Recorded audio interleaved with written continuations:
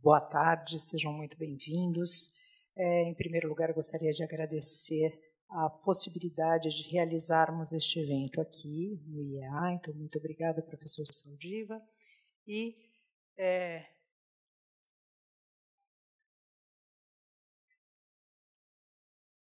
Ótimo, então temos aí participantes à distância, sejam muito bem-vindos também. É, hoje vamos conversar sobre este, esta obra, Martin Buber, A Filosofia e Outros Escritos. Está sem áudio?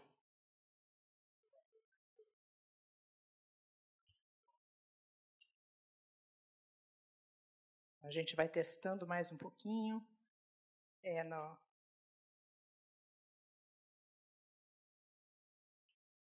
Bem, vamos conversar então sobre este livro, né? Filosofia, Martin Buber, a filosofia, outros escritos sobre diálogo e intersubjetividade, pensando mais especificamente a questão do diálogo e da intersubjetividade em clínica.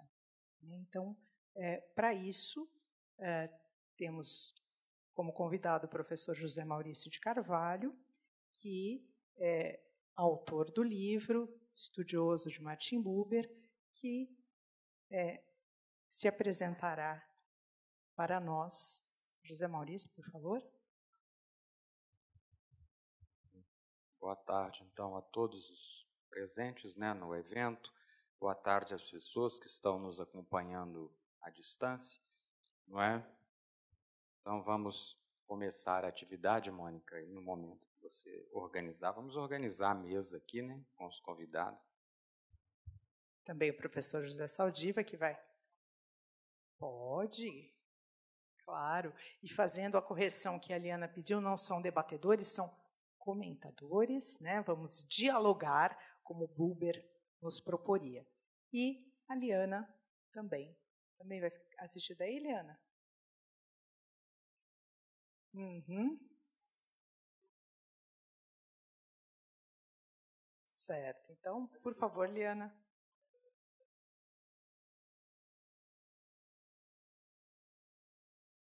E eu não me apresentei, sou Mônica Ayub e eu estou encarregada desta moderação que acho que vai ser uma coisa muito tranquila.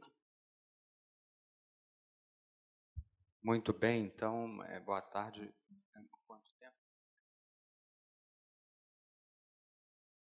Professor Paulo, quanto tempo de disposição?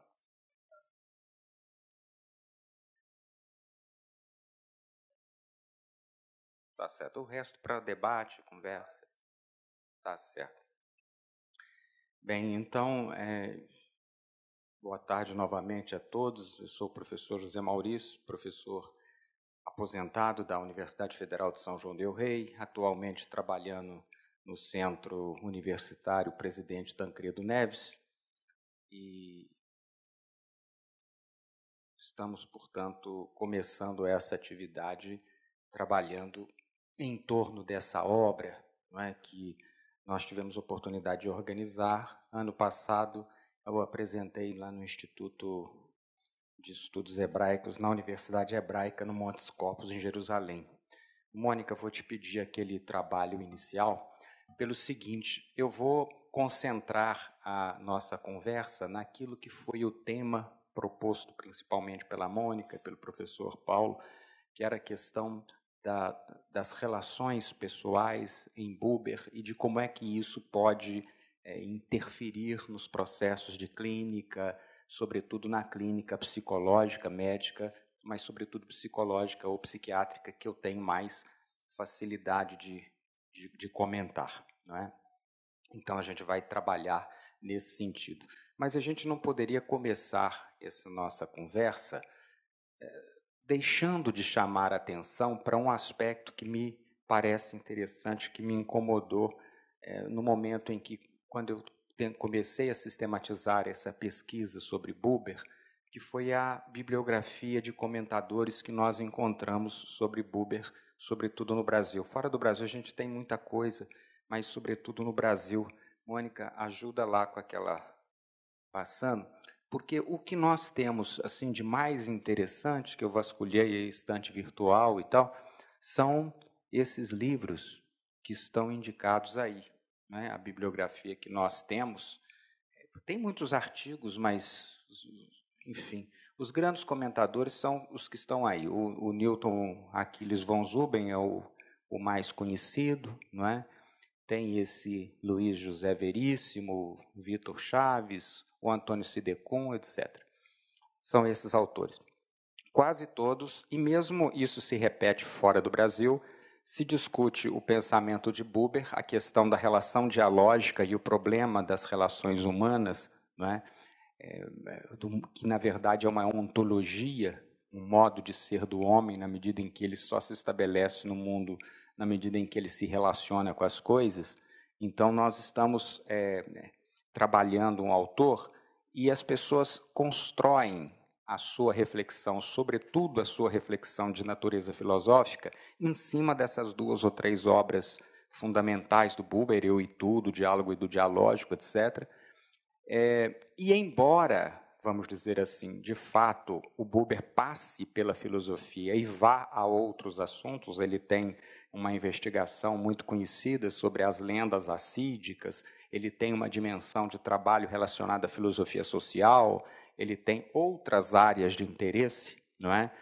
é a, as obras fundamentais de filosofia estão ali. A grande questão é que elas também, e assim é isso que me parece do que eu consigo entender, elas não se esclarecem muito bem se nós perdemos de vista essas outras questões, né? Pode passar um outro ponto, o próximo slide, só para me mostrar uma coisa. Em termos no Brasil, nós já temos boa parte da obra do Buber publicada. O que não, não temos em língua portuguesa é o que eu deixei indicado ali em vermelho, que, que temos em espanhol ou francês. É, e aí, vamos dizer assim, a parte publicada, porque há muita coisa ainda, mesmo parece na própria Universidade Hebraica, há muitos papéis, há muita coisa que ainda não foi publicada. Aquilo está em estudos internos e tal, mas ainda não saiu em forma de livro, não foram reunidos num, em mais livros, etc. Portanto, temos a maior parte das obras já publicadas, embora algumas não publicadas ainda e que são importantes para uma compreensão do pensamento de Buber, não foram publicadas aqui no Brasil. É, e aí, é, essa tentativa que eu fiz de organizar um, um, um livro em que a gente estabelecesse um pouco para compreender o pensamento de Buber. Agora podemos voltar aquele primeiro slide, só para entender o que, que é o livro. O livro são alguns capítulos em que a gente trabalha alguns eixos, o que me parecem eixos de, de temáticos do pensamento de Buber. E por que, que eu chamo de eixos? Porque eles se retroalimentam. Um faz o outro se movimentar. Então, nós temos, por exemplo, o primeiro, que é o mais conhecido, essa vida pensada como uma ontologia de relação de clara inspiração fenomenológica, que está sendo abordada nos capítulos 1, 3, 9 e 11 do livro. Não é? Depois nós temos uma filosofia social articulada com um núcleo primitivo e aglutinador da comunidade, amarrada por uma ética humanista, nos capítulos 7, 8 e 10. Não é? Uma hermenêutica para as lendas assídicas, no capítulo 5, 6, 12 e 13, e uma hermenêutica para os estudos históricos, como os que a gente encontra na Bíblia, nos capítulos 2 e 4. É? E por que, que eu é, comecei apresentando as coisas é, desse jeito? Porque, é, vejam bem, eu posso construir, se a gente voltar à bibliografia, não vou voltar, mas a gente pode encontrar ali, é, por exemplo, livros sobre a ética em Martin Buber, a partir de uma ontologia das relações em que eu penso, por exemplo, uma ética da reciprocidade. Há um livro exatamente isso, a ética da reciprocidade em Martin Buber. É? E você pensa uma, uma, uma reflexão ética a partir disso. No entanto, vamos dizer assim, quando a gente se depara com outros eixos do pensamento de Buber, nós encontramos por exemplo, os comentários que Buber faz a Hermann Cohen. Hermann Cohen é um grande neocantista do início do século XX, né? e o grande articulador do pensamento é, kantiano na Alemanha, junto com Paul Natorp. E o Hermann Cohen, que é judeu, tem também uma série de comentários sobre os livros é, do judaísmo. E boa parte deles, o Cohen faz uma espécie de articulação entre a parte prática do pensamento kantiano e a moral judaica. Quer dizer, eu vou construir uma ética buberiana da reciprocidade, mas não dou a menor notícia dos comentários que ele fez aos livros do Cohen, me parece uma forma muito incompleta de entender isso. E se nós entrarmos ainda mais na dimensão, por exemplo, na filosofia social do Buber. Não é? E aí nós vamos encontrar ali naquela filosofia social é, uma reflexão sobre o sentido e o significado da construção do Estado judaico, é? em que o Buber se depara e, e, e estabelece uma discussão, de um lado, com o Herzl, que queria uma construção de um Estado como uma criação jurídica uma criação geopolítica, ele estava preocupado com a construção e o estabelecimento de um Estado físico. Não é? E um próprio Hermann Cohen, que tinha uma leitura do papel da nação judaica na humanidade como uma espécie de, eh, de orientadora, não é? de humanizadora. E aí, portanto, você tem duas visões bastante diferentes sobre esta posição ou sobre o papel do judaísmo no mundo. Ora, quando Buber se depara com aquilo, ele, ele fica a meio termo. Ele, de um lado, acha que o Herzl tem razão no sentido de que era preciso que se criasse um Estado judeu, mas que a situação não poderia se limitar àquilo e que era necessário pensar e estabelecer ou, ou, ou explicar de que maneira é, o judaísmo teria esse papel de liderança mundial. Não é? e, e esse papel de liderança mundial é, somente viria na medida em que você fosse capaz de articular e de pensar as bases de um humanismo é, universalista, em que todas as nações tivessem um papel a cumprir nesse processo, entre as quais o papel da sociedade judaica. Quer dizer, por que, que eu estou entrando nesse elemento? Porque aí, ao discutir os elementos de humanização, eh, e ele vai buscar isso lá no livro de, do, do judaísmo, lá no, no livro de Isaías, é, em que ele vai buscar as bases desse, desse humanismo, ele começa a justificar o fato de que eh, esse humanismo judaico não fica a dever em nada a uma ética cristã, porque a grande crítica naquele momento era de que os judeus eram muito amigos entre si, mas que não participavam de uma ética universalista. E o Buber entra nessa discussão. Eu trouxe esses exemplos apenas para mostrar o seguinte: se eu for pensar o Buber do ponto de vista ético e fico numa na teoria da interrelação ou no, no pensamento, vamos dizer assim, simplesmente inicial do eu e tu e do diálogo e do dialógico, não é? Eu não sou capaz, pelo menos assim eu, eu imagino, de entender realmente toda a dinâmica de um pensamento moral que o Buber é capaz de pensar o que ele estabelece. Entendem? E isso acontece com as outras coisas, quer dizer, esses quatro eixos, eles estão bastante bem articulados. É? Eles estão bastante bem articulados. Quando você entra na hermenêutica, por exemplo, para trabalhar os textos ou as lendas judaicas, as lendas assídicas, não é? é ele, ele foi muito criticado pelo Gerson Cholem, que dizia ele que é, não é que ele produzia, eu diria, uma, uma deformação na interpretação das lendas, mas que na medida em que ele era um autor com muita versatilidade, um grande conhecimento de história e de religião e de filosofia, sobretudo de filosofia, ele estava, de certa forma, elaborando aquelas lendas, reconstruindo aqueles textos de uma forma, eh, eu eh, diria, muito acima, com uma densidade muito acima do que elas teriam originalmente. Não é? E o Buber é, tem a clara, ele não responde nesse, nesse sentido, mas ele tem a, o, o claro entendimento de que ele não está fazendo essa, essa deformação, mas que na medida em que ele constrói uma hermenêutica e vai pontuar elementos da presença humana no mundo, e aí eu estou lá, tem uns slides lá da frente onde eu mostro semelhanças entre essa forma de entender as coisas e é, toda essa articulação dele e o pensamento existencialista, fenomenológico existencial, com os grandes autores do existencialismo, Karl Jaspers, né, Gabriel Marcel, eh, Sartre, etc., né, o homem situado, o homem histórico, as lendas vão vão desenvolvendo essa temática, nós percebemos que há ali uma verdadeira blindagem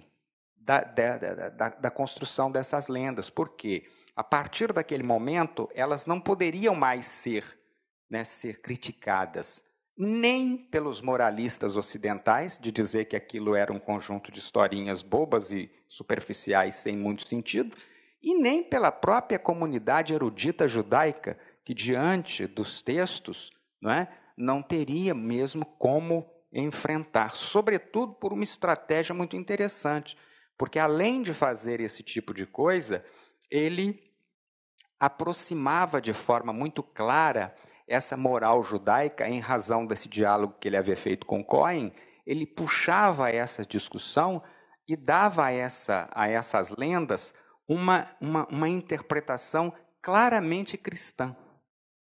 Então, vamos dizer assim, ao fazer isso, ele, ele, ele blinda não é? Essas lendas com essa sua metodologia, ele blinda essas lendas de ataques de todo lado. É? E, e, e não, nem, nem dentro da própria comunidade judaica, que não, é onde elas não eram é, aceitas, quem acompanhou os debates sobre isso sabe que boa parte da comunidade erudita judaica rejeitava essas lendas, né? nem eles, diante desse tipo de coisa, podiam, porque eles teriam que bater de frente com a própria moral cristã, na medida em que os temas fossem ali propostos dessa maneira. Mas ao apresentar toda essa parte inicial, né, como uma forma de preâmbulo para nós nos situarmos dentro da obra do Buber, o que eu quero é justamente isso. Quer dizer, quando a gente vai tratar de um, um aspecto do pensamento do Buber, separa aquilo e começa a comentar muito detalhadamente, a gente corre o sério risco de perder de vista boa parte dos aspectos que singularizam a meditação e a reflexão de Buber. Né? Bom, feito esse preâmbulo, vamos àquela parte mais específica, não é? em que é, nós é, nos propusemos apresentar a partir do convite que nos foi feito. Eu ainda queria desdobrar aqueles quatro eixos em seis grandes problemas para nós entendermos em termos de preocupações com as quais Buber se levanta. Não é? Aqueles quatro eixos se desdobram em seis problemas principais. Então, primeiro, o sentido da transcendência na consciência intencional, a presença, portanto, do tu num primeiro momento e do grande tu, que é Deus, e o segundo, a ontologia das relações, o eu e o tu e eu e isso, que é a parte mais conhecida do pensamento filosófico do Buber, não é? E essas duas lições, elas resumem a primeira contribuição e vai ser o que eu vou comentar em seguida. Quer dizer, eu vou ficar é, a não ser de forma esporádica e a não ser a partir das questões que forem surgindo, é? eu vou me manter num primeiro momento é, dentro desses dois primeiros problemas, que é esse eixo central. É? Mas nós temos ali essas bases éticas do humanismo judaico, como eu já expliquei, esse diálogo dele é, que se coloca entre Cohen e Theodor Herzl. É, as críticas e o debate que ele faz com Gerson Cholin sobre a hermenêutica para a interpretação das lendas assídicas. E na, no caso da hermenêutica histórica, né, o debate dele é sobretudo com os psicanalistas, né? Freud de um lado, Jung, na medida em que ele vai é, recusar o entendimento psicanalítico de que Deus é uma espécie de construção da consciência humana ou da, do inconsciente, mas do inconsciente coletivo ou da consciência em geral, não importa, mas Deus seria uma projeção da consciência humana.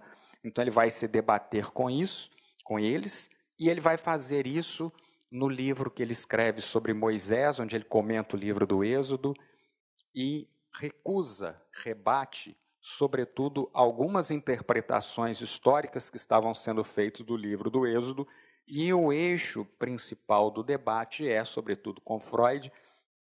Eu tive a oportunidade, resolvi reler, já tinha lido há muito tempo, aquele livro que na coleção da Standard está com o título de O Homem e o Monoteísmo, mas que nessa nova tradução que saiu agora lá de Porto Alegre, por aquela LPIM, essa editora, eles fizeram uma tradução muito bonita do livro do, do Freud, com o título O Homem Moisés e a Religião Monoteísta. Mesmo livro, mas com uma tradução muito mais elegante, muito mais agradável de ler. Mas quando a gente lê aquilo e lê o texto do Buber, a gente vai percebendo claramente que há todo um interesse de, de recusar as grandes posições postas por Freud ali. A mais importante delas é de que Deus é uma projeção não é, do inconsciente. Mas não é só isso. Há uma série de outras coisas que Freud afirma nesse livro dele que Buber vai contestar. Né? A existência de dois homens, Moisés, Moisés não era um homem só, mas dois. Não é? De que Moisés não é, na verdade, judeu, mas um príncipe egípcio. Que, na verdade, ele não teve nenhuma indisposição com o faraó, mas ele era um príncipe de uma província, um governador de uma província distante.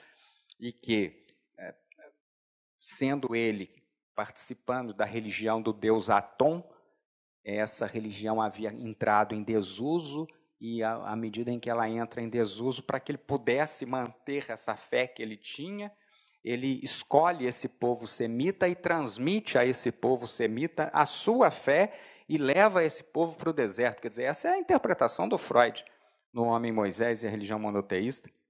O Buber vai desconstruir toda essa história na medida em que ele trabalha uma hermenêutica, e aí ele vai dizer, justamente para não dizer e ouvir o que os psicanalistas diziam para ele, nós somos cientistas, nós não somos filósofos, não é? Ele dizer, não, eu estou me pautando o meu trabalho historiográfico por aquilo que a ciência histórica tem hoje de mais representativo. Então, enquanto Freud e e Jung se baseia em alguns historiadores menores, ele vai dizer, olha, os minhas referências são o Paul Vandenberg, o Dilthey, o William Dilthey e o Jorge Gadamer. Eu estou praticando e fazendo uma hermenêutica histórica com os princípios estabelecidos por esses homens. Então, a interpretação que eu estou construindo não pode ser recusada porque ela não é científica. É pelo contrário. Se há uma interpretação científica, é aquela que eu estou construindo, porque ela é aquela que se pauta pelas referências mais, é, mais atualizadas. É? Então, nós temos aí, que é um debate que interessa, sobretudo, aos psicólogos e psiquiatras, etc., por um outro viés, não por aquele viés que nós estávamos no primeiro momento estabelecendo, mas que, que é de grande interesse por esses outros elementos, porque ela vai discutir não é? Essas coisas com os psicanalistas sobre a questão do, dos arquétipos, sobre essa projeção do inconsciente, sobre a origem das neuroses, etc. E tal. Ele discute todas essas questões. E o outro eixo é esse estudo de sociologia e de um socialismo possível, onde ele faz, em 1946, uma profunda crítica ao próprio socialismo marxista e dizia que naquele momento haviam dois polos de socialismo no mundo, um em Moscou e o outro em Tel Aviv, e que apenas um deles era viável, o que estava em Tel Aviv, e que o outro não teria um destino longo, não é? porque não se pode construir uma sociedade humana ou um projeto de humanização socialista a não ser com bases claramente éticas. E aí voltamos ao mesmo problema, quer dizer, como é que eu vou discutir uma ética em Buber e deixar isso de fora? E deixar essas questões de fora. É? Portanto, é um conjunto de, de grandes questões que é, marcam a presença e o pensamento de Buber, e essas grandes questões elas precisam estar mais ou menos interrelacionadas para que a gente possa trabalhar aí as coisas. Vamos então em frente, Mônica, para aquilo que é a nossa marca fundamental. Essa nossa conversa inicial, não é? é pautada nesses dois primeiros temas. O primeiro deles é de que um homem sem transcendência vive no mundo do isso. E, portanto, se ele vive no mundo do isso, ele perde a sua dimensão humana mais importante. Vamos tentar explicar agora, vamos tentar trabalhar um pouco disso para ver se a gente começa a mergulhar nas, nessas questões propriamente do Buber, não é? E para construir essa, essa, essa conversa, não é? eu comecei articulando esses dois capítulos do livro, comentando esse livro do Buber chamado Eclipse de Deus, 1952, onde ele vai avaliar que Deus não havia morrido, conforme Nietzsche havia proposto, né? Deus não estava morto, mas não havia dúvida de que ele se encontrava eclipsado. Eclipsado significa ele existe, está lá, mas encontra-se escondido não encontra a disposição do homem, ele está um pouco afastado da possibilidade de percepção do homem comum. E na medida em que ele se encontra nessa posição, não é, é perdeu-se efetivamente não apenas essa questão religiosa, essa dimensão religiosa, mas se perde efetivamente a toda a abertura de transcendência, toda a abertura para que eu possa construir uma reflexão que vá ter uma dimensão metafísica. Né? Então eu já passo a ter algumas dificuldades com esse tipo de construção, porque elas ficam comprometidas.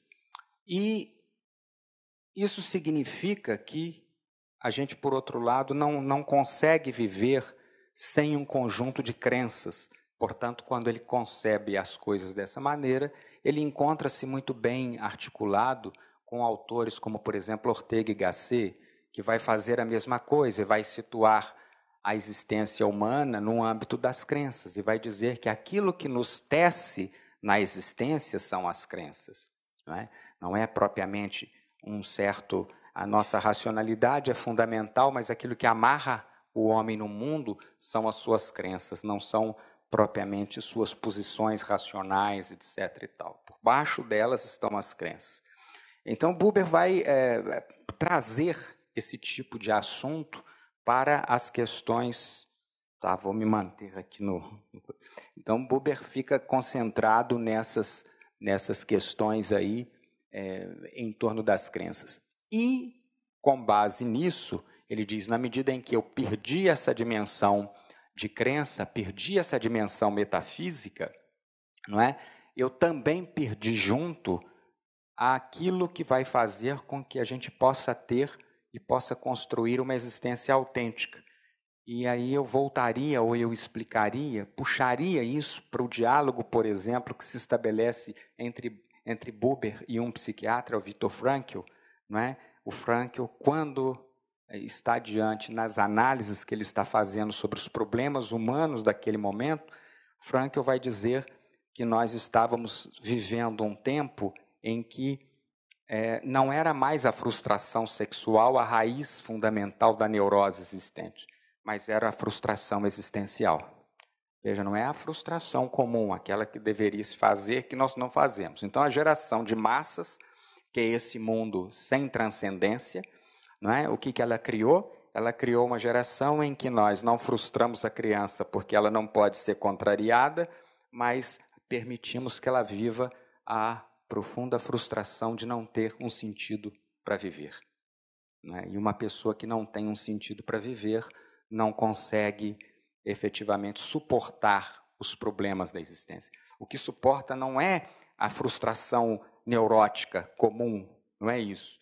Mas sem de fato um sentido para viver, é muito difícil enfrentar as frustrações, as dores e as dificuldades da existência. Buber fala, desculpe, Frank fala especificamente nisso, relatando as experiências pessoais que ele passou nos campos de concentração.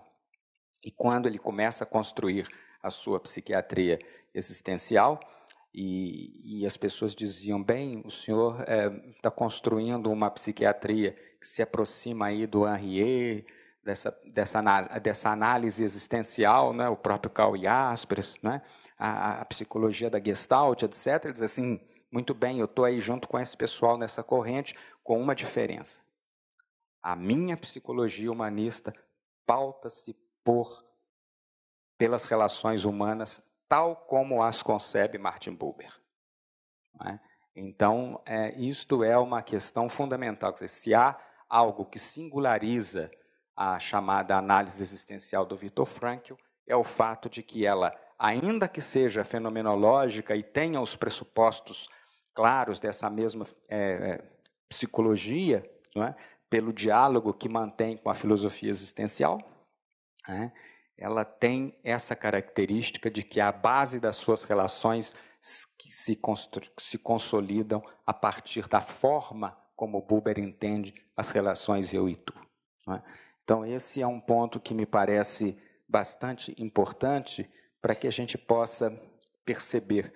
E aí a raiz disso é que, perdendo o sentido de transcendência, perdendo efetivamente a dimensão de um sentido mais profundo na vida, o homem perde é, boa parte da sua disposição para viver, ele fica meio desconectado com os grandes problemas, porque se o que o mantém na existência são certas crenças, e se as crenças que historicamente a humanidade viveu, e, e o Buber diz que estão presentes na, na consciência humana, não como uma invenção, mas como algo que seria natural do homem, que era a sua dimensão religiosa, se eu frustro essa dimensão, se eu recuso essa dimensão, eu acabo é, estabelecendo aí um, um, problema complicadíssimo, que é uma crise de culturas de proporções inimagináveis. Né? E essa crise de cultura é alguma coisa que começa no, no século passado, que na avaliação que eu tenho não, não superou, ela está aí com toda a força, não é? com, toda, com toda a dinâmica. E eu até recu eh, recuperei um texto do, do, do Sartre em que ele dizia exatamente isso, embora ele não participasse desses, dessa crença, tal como o Buber participa e tudo mais, mas o Sartre se deu conta, sobretudo naquela primeira etapa do pensamento dele, quando ele escreve que o existencialismo é um humanismo, Sartre se dá conta de que nós estávamos mergulhando num processo de crise e pelo rompimento com aquilo que havia de mais substancial no mundo ocidental, que era essa dimensão de humanidade, de um humanismo que vinha desde a Renascença e que ele havia caminhado no sentido de um empobrecimento da fé, e havíamos caminhado inevitavelmente para uma crise de cultura de durações que, vamos dizer assim, muito extensas. O Sartre diz: nós não vamos sair disso com menos de 200 anos. Serão 200 anos de crise até que o homem se reencontre consigo mesmo para repensar o sentido da sua vida como liberdade, como responsabilidade, etc. Então, nós temos aí, é, vamos dizer, toda essa discussão inicial, não é? E, e, e as consequências dessa discussão sobre o mundo do isso, né, e sobre o que, que isso vai significar. Porque na medida em que eu perdi toda a dimensão transcendente, eu agora fico na, em qual dimensão? Na dimensão fenomênica, na relação fenomênica com o mundo. Não é? E a relação fenomênica com o mundo, que me ocupa de modo quase integralmente, e isso o Buber nunca recusou, não é? ela me ocupa quase integralmente, mas se ela se torna exclusiva, eu perco a dimensão de relação pessoal. E aí nós poderíamos dizer assim, mas por quê? Porque o outro passa a ser para mim apenas uma casca, apenas a sua exterioridade. ou apenas o seu comportamento, como que é o behaviorismo. É? Eu fico apenas naquilo que se manifesta, ou mesmo na sua corporalidade imediata, como é a prática médica de modo geral. Quer dizer, eu perco o fato de que o outro tem um interior. Eu não enxergo a interioridade do outro. É? Então, esse é o grande problema. Quer dizer, quando eu perco a dimensão do tu, ou seja, eu não sou capaz de conversar com Deus como um tu, isso é o Buber, né? Como eu não sou capaz de dizer diretamente a Deus como um tu, eu não consigo dizer um tu para o outro que está diante de mim. Porque ele, na verdade, ele, ele ou ela, mas ele, na verdade, é um isso. Ele é uma coisa que está aí para mim. Né? Se vocês disserem isso, e como é que essa coisa se manifesta na clínica de forma muito clara? Não é? Por exemplo, o, o, o Frankl diante de uma série de problemas, Jaspers também, eu posso citar alguns, mas eu, eu me lembro especificamente de algumas questões, algumas passagens do Frankl, onde ele comenta, por exemplo, problemas ligados à impotência, é, problemas de natureza sexual, é, e, e aí ele diz, como que nós vamos tratar isso em clínica se o sujeito está preocupado, ele, em ter prazer, ele em gozar, se ele vai para uma relação sexual preocupado com ele, a chance desse negócio não funcionar é enorme. E a única forma que você tem, de fato, de fazer com que isso se modifique é permitir que essas pessoas estabeleçam relações afetivas duradouras, relações de verdadeiro amor e interesse pelo outro. Só na medida em que eu sou capaz de me abrir ao outro e de ir ao outro num processo de relação, eu sou capaz de viver e, e, e de fato ter uma vida sexual saudável e normal. Estão entendendo? Quer dizer, a derivação disso para dentro da prática clínica é muito grande, pelas implicações que isso traz. Pelas implicações que isso traz.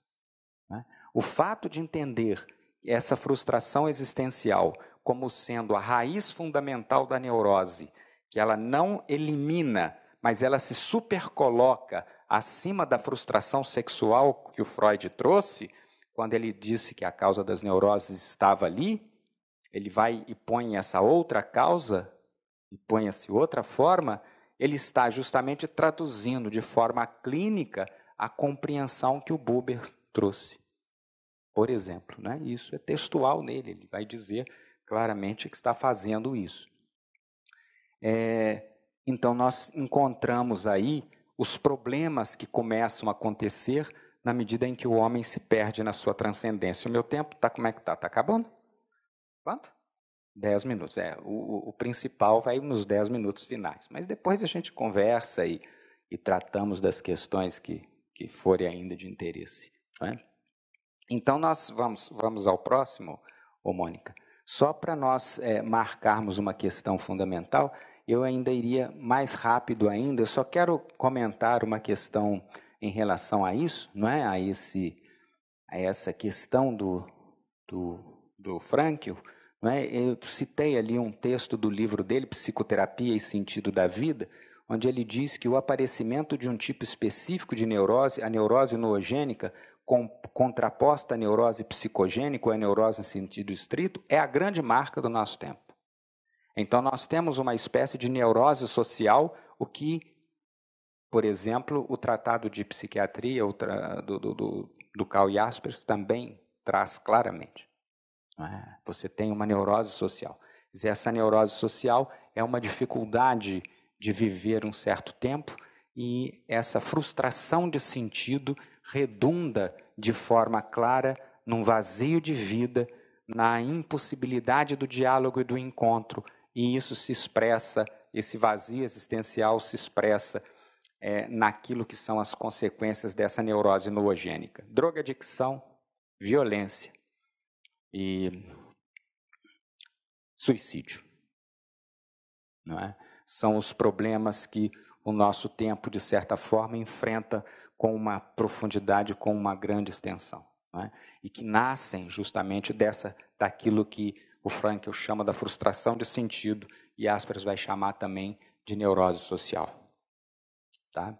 Vamos em frente para nós concluirmos aí, ou, ou pelo menos é, comentarmos de forma muito rápida as duas formas de relação humana com as duas formas com as quais o homem se relaciona no mundo, lembrando fundamentalmente que falar de uma ontologia de relação significa entender que essa forma como o homem se relaciona com, as, com o mundo, né, que Buber traduz naquilo que ele chama de duas palavras princípio, eu e tu, e eu e isso, não é? Essas duas palavras princípios resumem a forma como o homem se relaciona com as coisas. Quando ele se relaciona com as coisas, não é? Nesse sentido imediato e fenomênico, ele está no mundo das relações do eu e isso.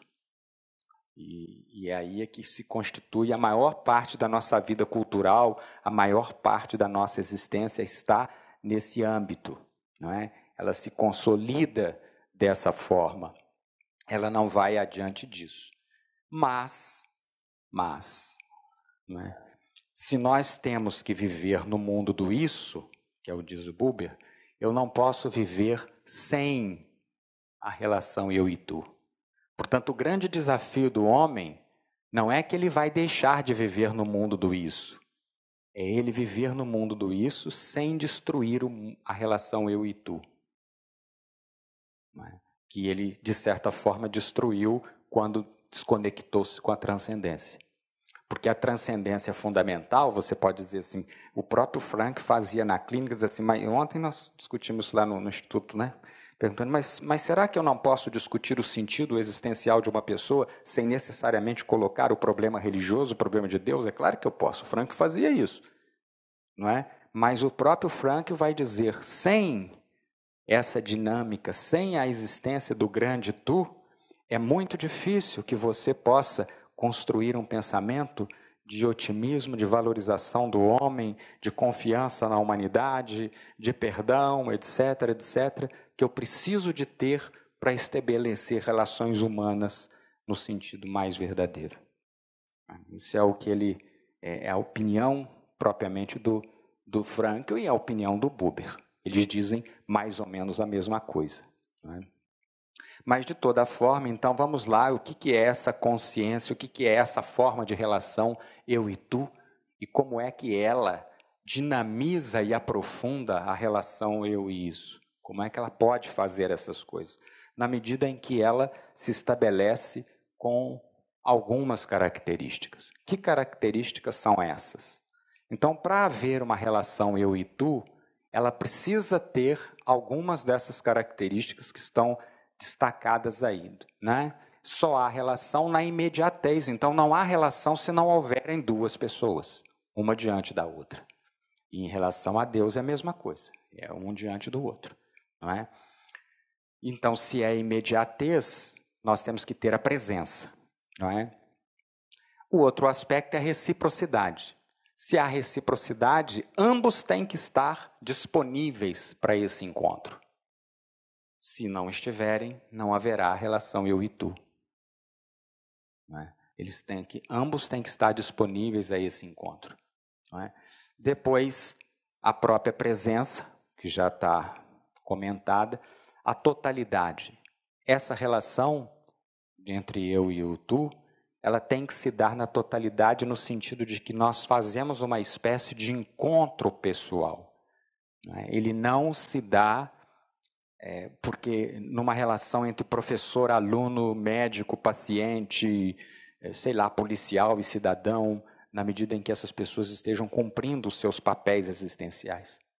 Elas não se dão nesse, nesse ponto, porque elas só vão acontecer na medida em que os dois se encontrarem numa espécie de confluência de alma. É? Aquilo que o Cal Jaspers dizia que na clínica dele acontecia quando ele estava não mais diante do cliente ou do paciente que o procurou, mas de um companheiro de destino. Quando, por alguma razão, pelas situações limites da existência, por algum motivo, os dois conseguiam se colocar numa posição de um diante do outro e um diante do outro se abrindo a essa possibilidade de aproximação. Essa possibilidade ou essa aproximação, se, se acontece na clínica, isso o Jaspers é que relata, se ela acontece, ela muda toda a clínica. Porque a partir daí há uma confiança absoluta entre os dois, entre um e outro. Ainda que como relação eu e tu, ela não continue, porque ela precisa de ter a presença imediata, etc. E mesmo que depois ela volte a ser uma relação eu-isso, ela contamina de forma tal todas as relações, de maneira que a gente possa, é, nós diríamos, é, dar um outro destino ao que se segue. Está entendendo? Por isso é que o Buber insistia muito em que, ainda que nós devamos viver no mundo do isso, se nós não formos capazes de alçar ao mundo do tu, nós não conseguiremos viver e manter a relação no isso no nível de, humaniza, no nível de humanidade. Não é? Mas não é só isso, é, há outras características que precisam estar presentes, estar à parte do tempo e do espaço, no sentido de que esse momento de encontro de almas, eu já estou terminando, Mônica, acho que o meu tempo está acabando, né? É. Mas esse encontro de almas, é? ele vai juntar nele o instante e a eternidade.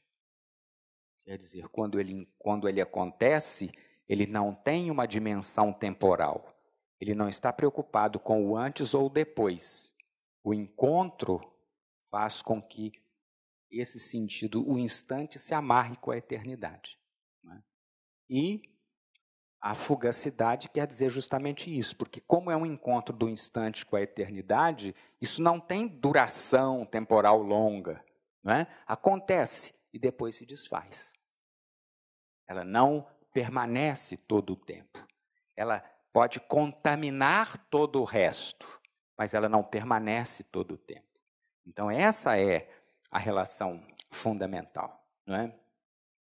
E justamente nesse momento. Pelo menos o outro não pode se tornar um objeto, não pode ser objeto. Eu não posso pensar o outro como meu nesse sentido, ou como alguém que está a meu serviço, ou como alguém que é meu paciente, o meu aluno, etc., seja lá o que for. Né? Nesse momento, nós somos duas almas iguais. Né? Nós somos duas pessoas iguais em humanidade comum, né? que é a base e a raiz de toda o desenvolvimento que acontece na clínica, sobretudo na clínica existencial, de homens como Frankl, como Jaspers, etc. Né? Então, a gente tem essa, esse entendimento de que as coisas se colocam dessa forma. Né? Quando é, Buber tem que dar alguns exemplos de como é que essas coisas acontecem, ele dá alguns exemplos. Eu vou particularmente me reportar a dois para que fique bem claro aquilo que, eu, que ele está tentando dizer. O primeiro é ele dizia que houve um momento em que eles estavam, a comunidade cristã e a comunidade judaica, discutindo, fizeram um seminário para saber quem teria melhores condições de entender, de explicar a presença e a figura de Jesus Cristo. Os judeus achavam que eles porque Jesus era judeu e um praticante do judaísmo. Os cristãos diziam que eles, porque os judeus não haviam entendido claramente a mensagem de Jesus e eles eram os legítimos herdeiros dessa mensagem.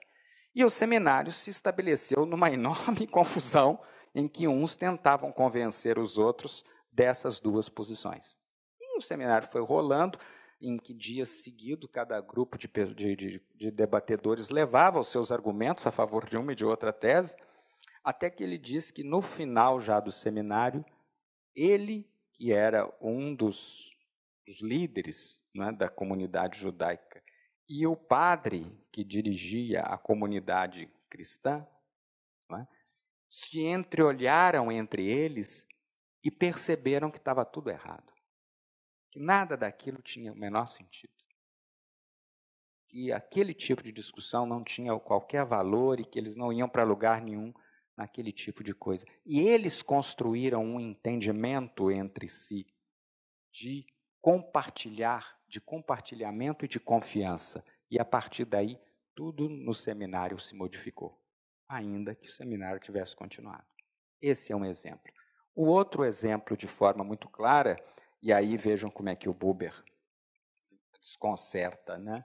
a gente, porque, embora sendo judeu e não sendo cristão, e, portanto, não admitindo a divindade de Jesus, quando ele vai dar um exemplo de alguém que estabeleceu uma relação eu e tu com Deus, ele diz: Jesus de Nazaré é o maior exemplo de alguém que se dirigiu a Deus como um tu, em que ele falava com Deus diretamente, em que ele escutava Deus diretamente. E como ele falava e escutava Deus, ele só fazia aquilo que Deus determinava fazer. E ele é de tal forma, ele viveu de tal forma esse, esse sentido dialógico, que ele pôde chamar Deus não de tu, mas de Pai. Essa experiência é aquela que ele chama de relação eu e tu. É essa relação de intimidade, de proximidade, de identificação, de amor profundo, não é? que contém todas aquelas características que estão ali, que marcam esse tipo de relação eu e tu. E essa relação eu e tu é aquela que, embora não sendo aqui, vai nos ocupar em 95% do nosso tempo, constitui o que Jesus chama de sal da terra e luz do mundo. Sem ela, o resto perde o sabor. Né? Então, com isso e com o meu tempo esgotado, eu termino a exposição e fico à disposição para essa nossa conversa. É?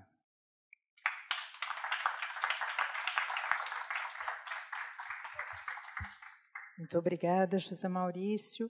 É, agora,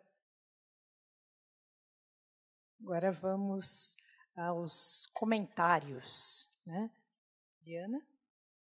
É. Então, professor Paulo Saldiva, seus comentários.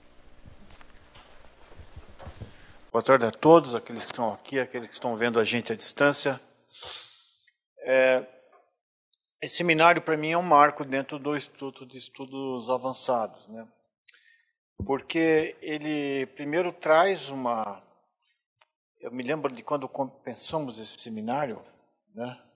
quando eu conheci é, a editora, o material, e percebi que ele tinha uma coisa diferente, uma, né, uma possibilidade nova para que a gente expandisse os, os debates é, na área de filosofia e do entendimento mais amplo das relações humanas. Essa ponte entre filosofia e psicologia ou, ou compreensão do sofrimento humano. Veja que paradoxo, né? Eu sou médico, patologista. O, no, o Ari, que está aqui, que é o nosso vice, é um engenheiro. E uma das demandas que foi feito para para a gente, né, na avaliação do Instituto, era que desse uma pegada maior em temas mais aplicados. E nós estamos discutindo filosofia como se não fosse aplicado, entender por que, que a gente ligou o pau de selfie, enxergamos só nós, né? só estamos no eu. Né? Isso também está desaparecendo, só o isso que nos interessa, e o tu nem se fala. É, o, então, para nós é uma chance da gente começar a fazer é, uma, um diálogo né, entre filosofia e psicologia, e o entendimento das angústias, da ansiedade, dos medos, das inseguranças, num mundo que particularmente necessita disso. Acho que o Buber nunca foi tão necessário. Eu conhecia pouco, mas eu tive que estudar antes para ler o Buber, para não falar tanta bobagem como normalmente eu costumo falar. Mas eu cheguei à conclusão, conhecia melhor o Frankl, né? E fui olhar pouquinho do que ele escreveu, li, e cheguei à conclusão que ele, que ele é absolutamente necessário nos dias de hoje.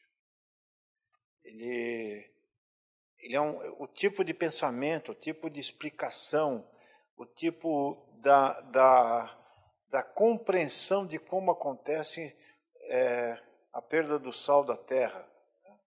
da capacidade de você é, ir além da materialidade que foi imposta para a gente, e eu acredito até com uma impressão epigenética, eu iria um pouco além do Sartre, dizendo que é, a gente modifica essa discussão, é uma crise que vai demorar para sair, mas eu acho que ela está cada vez mais, o reforço para que a gente mergulhe nessa crise, não está vindo da filosofia, não está vindo de uma escola de pensamento, está vindo da projeção da felicidade em algo que a gente nunca consegue atingir, porque ele se esgota.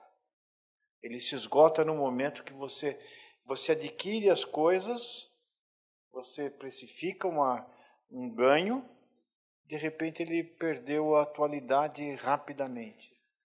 Você tem que correr atrás de outra. A nossa educação, que a gente é, não estuda mais para aprender, estuda para fazer um exame. Depois que você aprendeu, você passou no exame, você quer ter o melhor estágio. Depois que tem o melhor estágio, você quer ter o melhor emprego. Aí você quer subir na.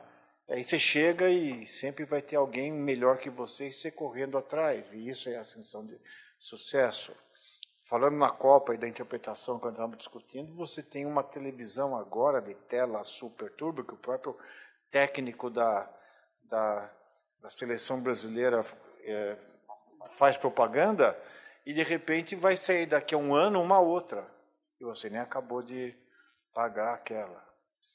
Então a gente persegue alguma coisa que é fugidia justamente pela perda da transcendência, pela perda de você não conseguir estabelecer um diálogo com algo constitutivo da nossa psique, com uma coisa constitutiva dos nossos valores e princípios, que joga a nossa felicidade para uma temporalidade quase que imediata, com relacionamentos que são absolutamente fugazes, com valores, princípios e estéticas que se modificam às custas de um mercado e de uma indústria, onde a felicidade é fabricada, empacotada, comprada e desfeita com a mesma velocidade. E, como não existe ainda uma forma efetiva de colocar fluoxetina na cantareira, que seria um projeto de você artificialmente né, receber um pouco de lítio, né, é, e outros medicamentos que, que são utilizados como gambiarras para explicar, contornar o vazio. Nós contornamos o vazio existencial com uma pletora de é, remédios nas gavetas.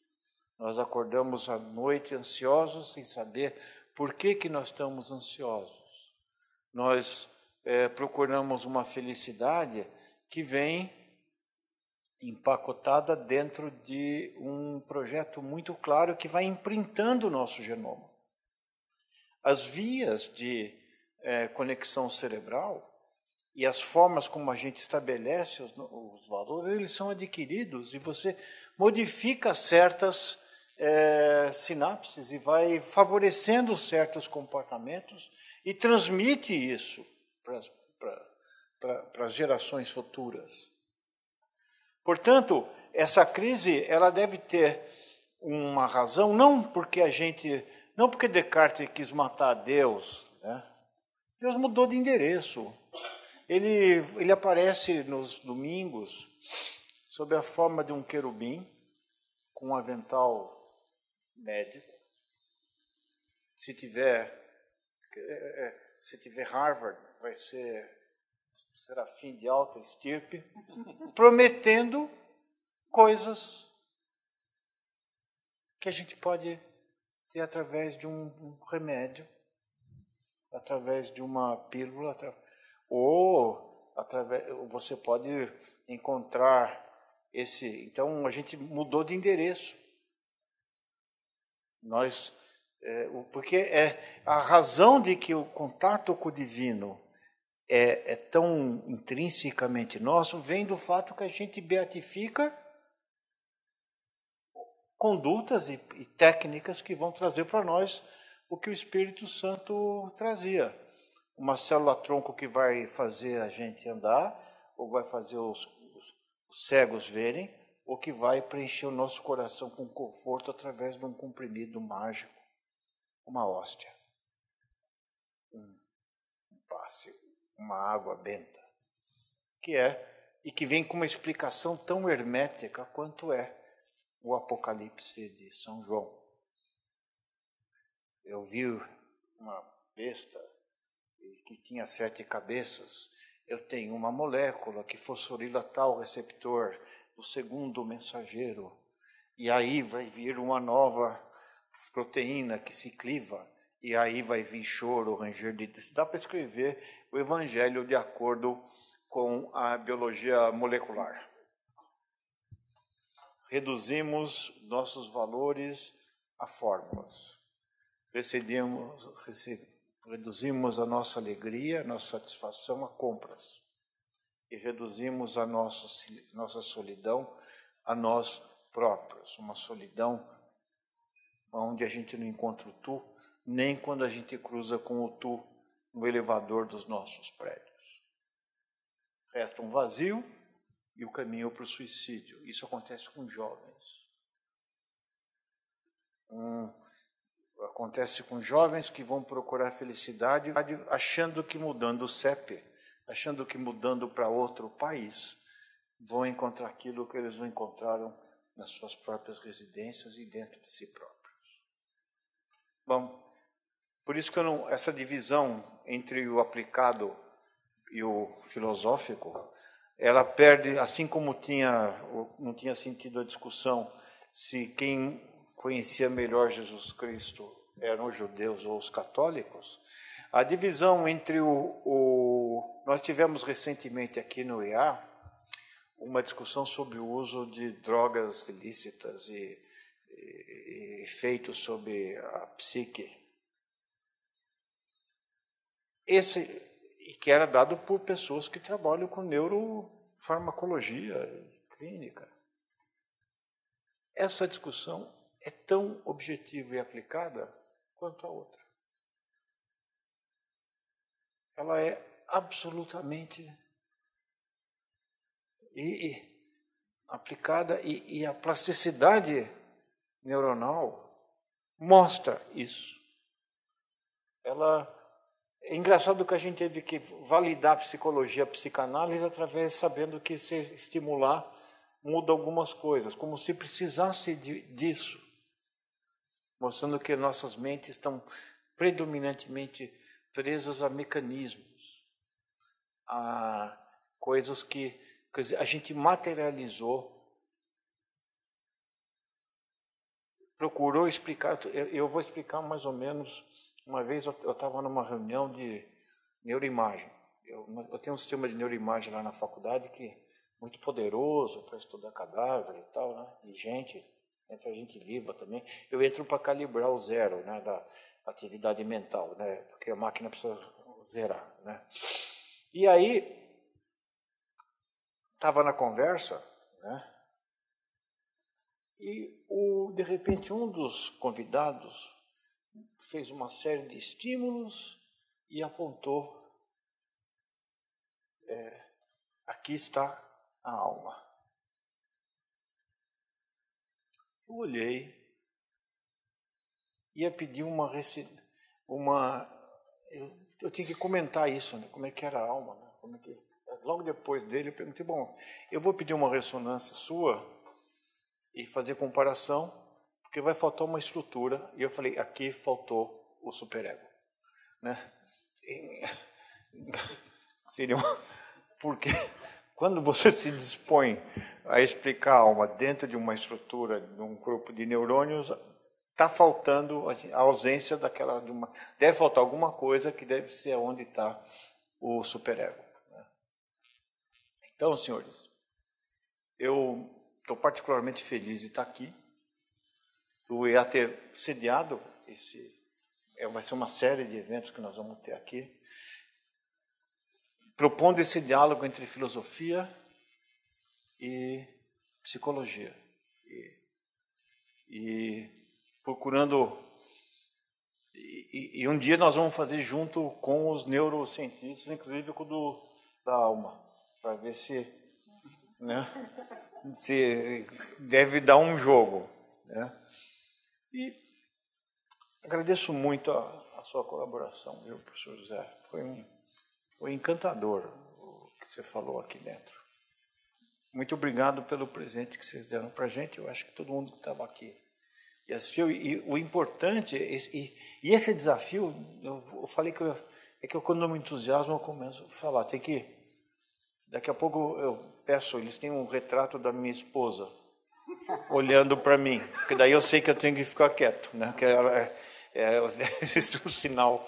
Mas uma das coisas que eu é tão importante esse esse debate hoje é, das ideias do Buber, da procura do transcendente, da procura de um sentido que vá além do número de pixels da sua, do seu smartphone, né? É, e outras coisas que transferem a, a felicidade imediata e fugaz. É, eu, que eu acho que haveria que ter um, um, um texto provocativo na nossa revista. Na revista do, do EA, uma proposição de um ensaio discutindo é, o, o, como a gente se afastou, né? E, e como e, e, é engraçado porque se você coloca isso, você vai achar que você é, é carola ou você é religioso. Não tem nada disso. É um diálogo com uma coisa superior, num sentido, uma forma de interpretar o mundo de acordo com valores que não sejam tão tão é, passageiros e meteóricos. Eu, eu convido para a gente escrever um, vocês escrevam isso e a gente possa fazer uma série de discussões sobre é, é, o, o, diálogo. Eu já vi muito diálogo entre é, alguns textos sobre diálogo de ciência com com, é, com o humanismo, mas acho que entre psicologia e filosofia a gente vai precisar é, usar bastante. E talvez fazer uma. Porque é diferente, né? Ele funde. Ele não é, não é a soma de duas coisas. Né? Você consegue entender que sai uma coisa completamente diferente, assim como a bactéria faz. Quando funde DNA, é uma coisa, sai uma coisa diferente. É fusão, não é, não é, não é, não é soma. Então, muito obrigado. Muito obrigado mesmo.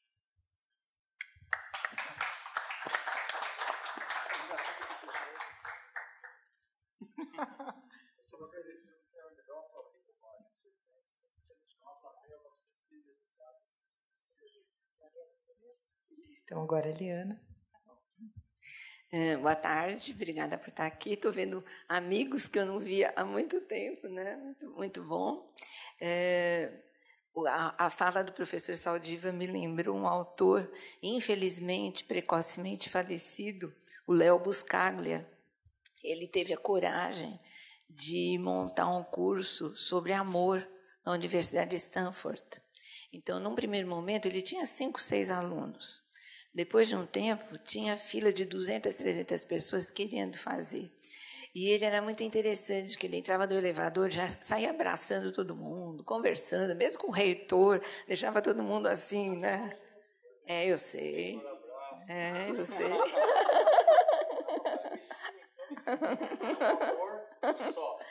Por isso que eu estou trazendo o Léo Buscaglia aqui como, como lembrança, não sei, recomendo até a leitura do livro, não sei se vocês conhecem. Tem um livro muito interessante que é, ah, são as palestras que ele deu para educadores pelos Estados Unidos, é Vivendo, Amando e Aprendendo. Um livro que eu adotava em sala de aula, eu acho que é muito interessante.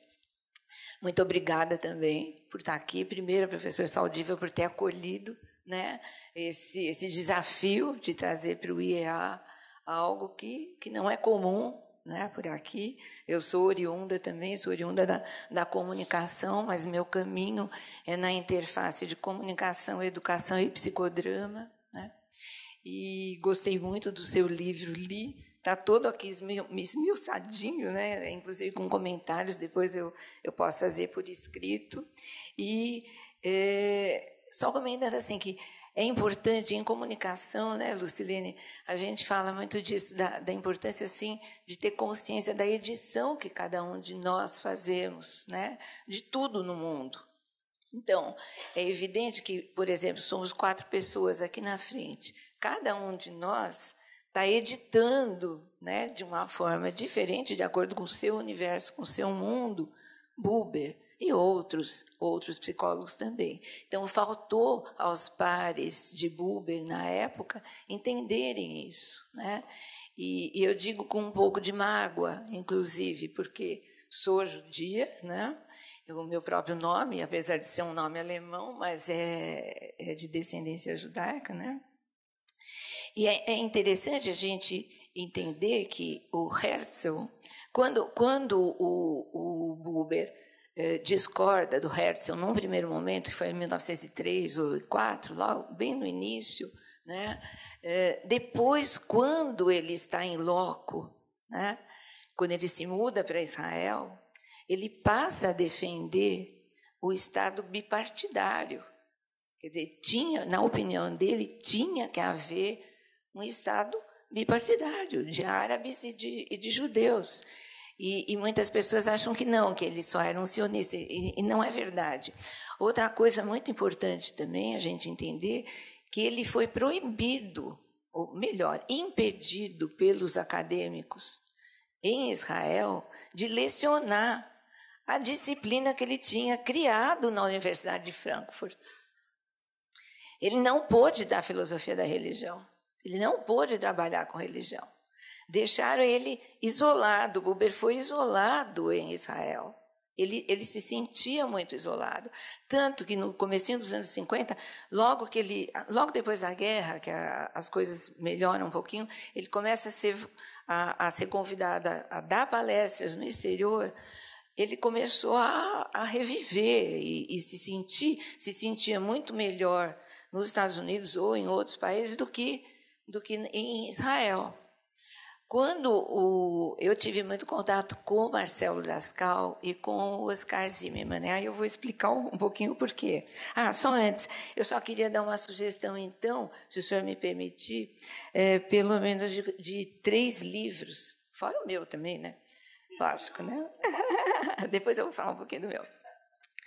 É, nas minhas pesquisas, quando eu comecei, eu, eu, já vinha lendo Buber há muitos anos, desde bem jovem. Só que quando eu fui fazer a formação em psicodrama, eu comecei a perceber que é, tinha muitas correlações entre Buber e Moreno. Aí a louca aqui vai fazer o mestrado em comunicação e trabalhar com a Mafalda. Quer dizer, mais louca ainda, porque isso tem quase 30 anos. Naquela época, os quadrinhos não eram encarados como algo sério e digno de ser trabalhado num, num programa de mestrado e doutorado. Basta a gente se lembrar que só no começo dos anos 70, que nós aqui na academia, né, em comunicação, tivemos noção, ficamos conhecendo o que o Mao Tse Tung usou para conseguir passar todas as ideias na revolução ditatorial né, da China. Eu não sei se vocês sabem, na, na China eh, existe a grande massa da população, a maioria parte da, da população era analfabeta. E como transmitir todos aqueles ensinamentos? Então ele elaborou todas as ideias dele com quadrinhos. E foi assim que foi passado por todo aquele amplo território dos quadrinhos. Mas a louca aqui foi fazer um mestrado em comunicação educação. Por isso que eu disse para você, você é uma moça que é representante da nossa área de comunicação, fora a Lucilene também. É uma nova área que a gente tem, nova nem tanto, né? 96, 95 por aí, aqui na ECA, né? É, então eu fui fazer, aí eu comecei a perceber essas correlações entre Buber e Moreno. Só que eu pensei, meu Deus do céu, eu tinha sorte que o meu orientador era um francês e que ele permitia que eu tivesse co-orientadores. Então, tive muito contato com o Von Zuben, que era só telefônico, mas me atendeu muito, foi muito simpático, né? Depois em psicodrama também eu tinha minha minha orientadora de psicodrama, só que aí eu pensei assim, mas como é que eu vou trazer isso para a área de quadrinhos? E será que eu estou louca? As correlações. Aí eu me deparei com um livro, na, na verdade uma nota de rodapé de um livro de, um, de uma amiga que falava sobre disciplina, indisciplina em sala de aula, e ela fazia menção a um livro que foi uma tese de doutorado, a primeira na área de psiquiatria na USP, que tratava justamente de psicodrama, quer dizer, a incorporação do psicodrama na psiquiatria. O livro se chama Psicodrama da Loucura, é o doutor José Fonseca. Até eu tinha pensado num primeiro Trouxeram o livro, o livro dele está aí. Eu acho que é um livro primoroso, importantíssimo para quem é da área de, de psicologia, principalmente, ou psiquiatria, ou quem quer entender né, como é que se dá essa possibilidade de se trabalhar com psicóticos utilizando o psicodrama. Aí eu percebi, comprei o livro dele correndo e percebi que ele também tinha trabalhado com as correlações entre Buber e Moreno. Falei, tá aí, não tô, não tô louca. Pelo menos na loucura eu tô junto com outro aí, que é um médico, psiquiatra, tá bom. Então eu pude fazer, eu, eu ousei fazer o, o meu trabalho, que o nome é Mafalda vai à escola, esse aqui é o livro, lógico, o título da, da dissertação não foi esse, e aí, a comunicação dialógica de Buber e Moreno na educação, nas tiras de Quino. Então, a, a minha leitura, eu, eu selecionei todas as tiras de Quino que tratavam de educação e fiz três leituras, na verdade, uma quadrinística, uma com base em educação, e aí encaixei Moreno e Buber na abordagem humanista em educação, né?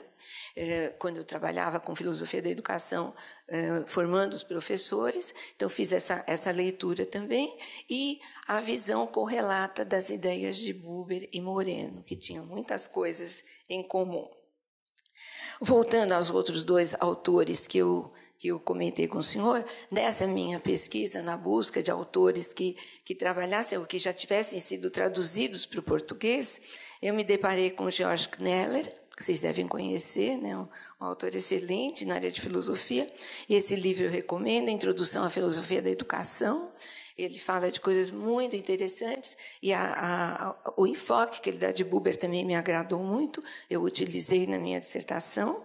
E também Fritz Mars, que ele, o título do livro é Grandes Educadores. Ele tem um capítulo especialmente dedicado ao Buber, que, que também me ajudou muito no, no meu entendimento e para poder depois eh, ler melhor, entender melhor as, os, os textos de Buber sobre educação que eu acho que são primorosos. Eu acho que uma das coisas que o distinguia, diferenciava realmente dos existencialistas da época é que ele falava de educação. Outra coisa que eu vejo muito em comum, hoje eu vejo mais do que na época, que quase 30 anos atrás, de, de correlação entre Buber e Moreno, é que os dois não eram só dois filósofos, é, filósofos só espectadores. Eu, eu, eu, fiz essa distinção né, entre o filósofo espectador e o filósofo ator.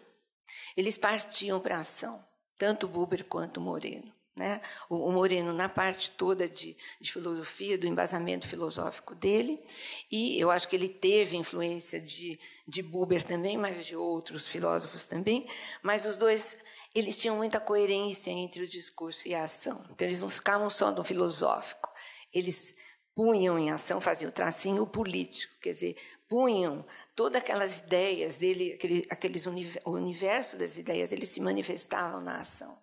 Então, o, a gente, eu, eu, me deparei com alguns depoimentos de ex-alunos do, do Buber e diziam que era um professor assim fora de série um ser humano fora de série. E o mesmo se dava com o Moreno, que muita gente diz, não, Moreno não podia ser, ser, ser um, um, professor, um teórico da educação, ou falar de educação. Não, mas ele foi um professor, um professor universitário. E, e todo o fazer pedagógico dos dois sabe, era totalmente permeado por todas essas coisas lindas que, que o senhor bem colocou. Né? Quer dizer, eles punham isso em ação. Então, só, só, só para citar a principal uh, correlação entre os dois. O que para o Buber era a dialogicidade, ou, ou, ou, a distância, por exemplo, o que era a distância numa relação pro, dialógica, era o tele, o fator tele para a relação de encontro de, de Moreno. Né? E, sabe, eles eram realmente, tinha muita, muita coisa em comum.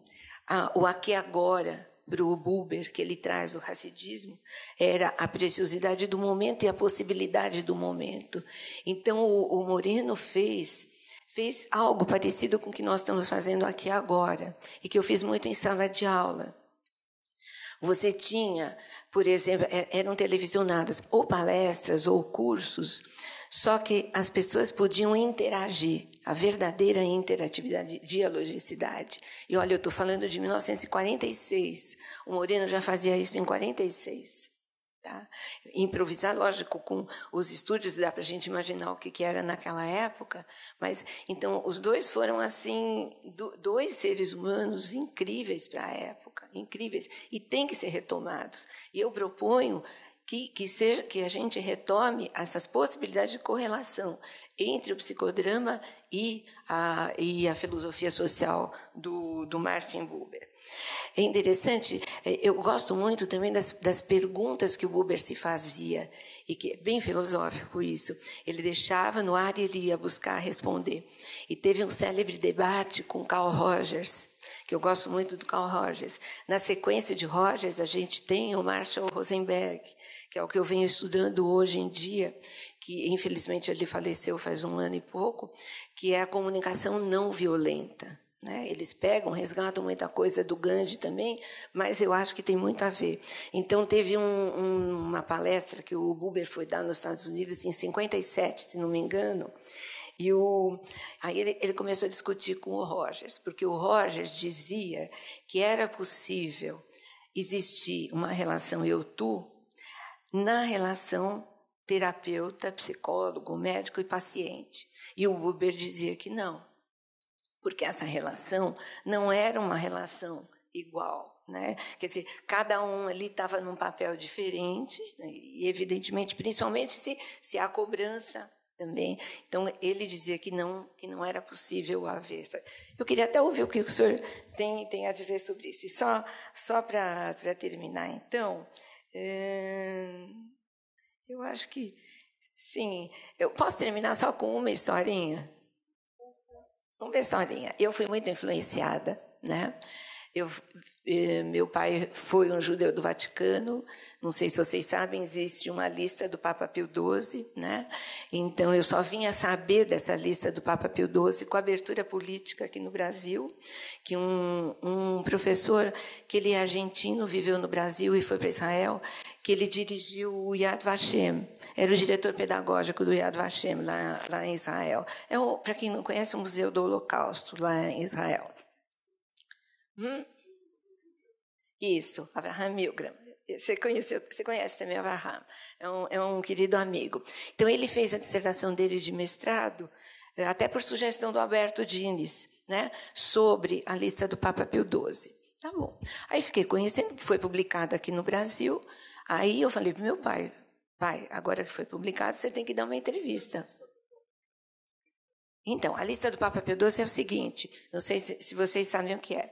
O, na era Vargas, o, o Getúlio Vargas, eh, ele, ele, o Vaticano exigiu do Vargas 3 mil passes para padres e freiras cat, uh, alemães e belgas. O que, que o Getúlio, o que, que o, o Vaticano fez? Aí o Getúlio deu esses 3 mil passes, tá bom. O Vaticano, em vez de dar esses passes para os padres e freiras uh, alemães e belgas, ele vendeu, entre aspas, para judeus convertidos. Meu pai e meu avô estavam no campo de concentração na Itália. Minha avó ficou sabendo disso, ela foi ao Vaticano, conseguiu juntar dinheiro de parentes que viviam na, na Áustria, que tinham um pouco de dinheiro, e infelizmente todos foram mortos, os que ficaram na Áustria, e ela levou esse dinheiro para o Vaticano e conseguiu comprar os passes da família. Os, os integralistas aqui no Brasil, quando ficaram sabendo disso, eles fizeram uma pressão para o governo e uma pressão na mídia, inclusive, acho que isso merece uma pesquisa. Até ia propor para o Marques de Mello, mas ele faleceu agora, uma pena, né? Um grande professor, o maior professor nosso, querido amigo, de, na área de comunicação. E os integralistas conseguiram brecar essa lista. Ela parou em 900 e poucos, mais ou menos, números. Então, essa é a lista do Papa Pio XII, porque era era o braço direito dele, o cardeal, que era o braço direito dele, que fazia essa negociação com. A, a família do meu pai conseguiu juntar 80 mil dólares. Isso em 42 era muito dinheiro. Foi o que custou em dinheiro, tinha que ser, foi o que custou para para seis vidas. não, não, eles queimaram os documentos, eles tinham muito medo, né? E quando chegaram aqui, evidentemente, tanto que a família nem sabia disso. Por exemplo, o Pedro Bial, sabe o Pedro Bial? Os pais dele também estão nessa lista. Então, é uma lista interessante de ser, de ser analisada e vista. Ela está publicada no livro do Abraham Milgram, se chama Os Judeus do Vaticano. Esse livro é um livro interessante de ser lido. Né? Mas por que, que eu comecei a falar disso? Nem me lembro.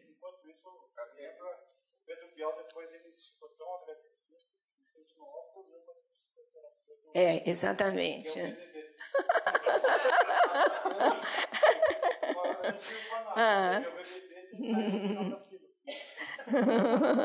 ah, eu já sei por que, que eu comecei a falar disso.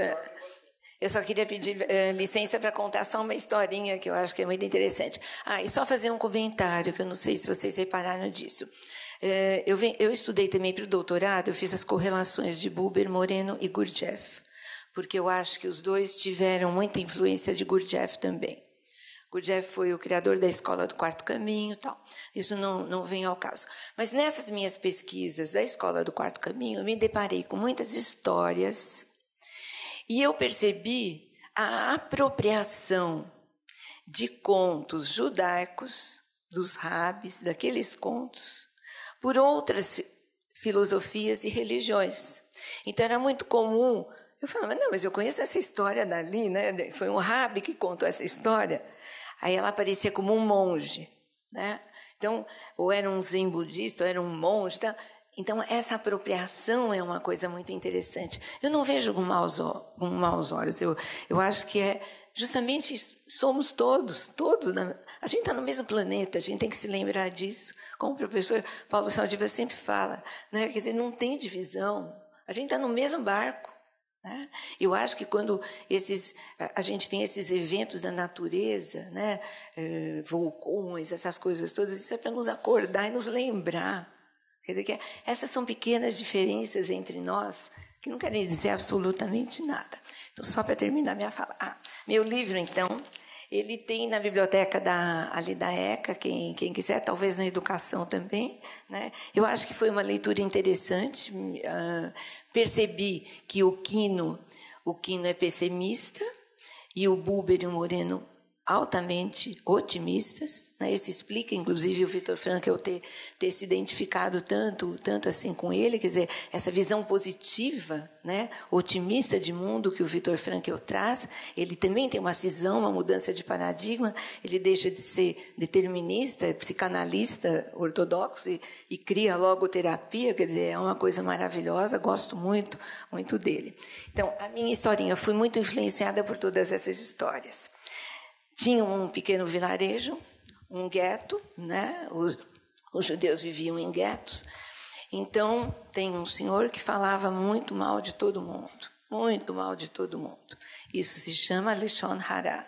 Lashon Hara é quando a pessoa só é maledicente, só fala, é um dos piores pecados para os judeus, né? Ter uma língua ruim, a maledicência. Tá bom, aí um dia ele se arrepende, ele fala, meu Deus, que que... Porque teve um senhor que ele prejudicou muito, Aí ele vai lá para o rabino dele, o que, que eu faço? Rabino, por favor, me ajuda, porque eu tenho que consertar esse mal que eu fiz, eu tô, não consigo dormir, por favor, me ajude. Para os judeus não tem confessionário, né? Então, vai para o rabino, vamos ver. Aí o rabino fala assim para ele, olha, mas você vai fazer tudo o que eu te disser? Promete? Sim, então tá bom. Então você vai pegar um saco de penas, um saco cheio de penas. E você vai na casa de cada judeu e você vai pôr uma peninha ali. Tá bom. Faz o dia inteiro, volta aqui, eu quero ver o saco vazio. Tá bom. Aí ele volta, no fim do dia o saco vazio. Ah, agora eu já estou liberado? Estou livre? Não, falta outra parte. Agora amanhã você vai pegar este saco você vai voltar na casa de cada um daqueles judeus, você pôs uma peninha, e recolher todas as peninhas e me trazer o saco cheio de volta. Mas será que eu consigo? Não sei. É essa a sua tarefa que você tem que fazer. Tá bom. No dia seguinte, ele foi e tentou recolher as peninhas. Evidentemente, não voltou com nenhuma peninha. Aí ele fala: Mas, Rabino, como que o senhor me mandou fazer isso? Não deu? Assim são as palavras. Depois que você solta as palavras para o ar, não dá para recolher de volta. E viva com isso. Né? Então, essa é uma historinha que é muito contada para a gente não ser maledicente. Obrigada, obrigada pelo livro.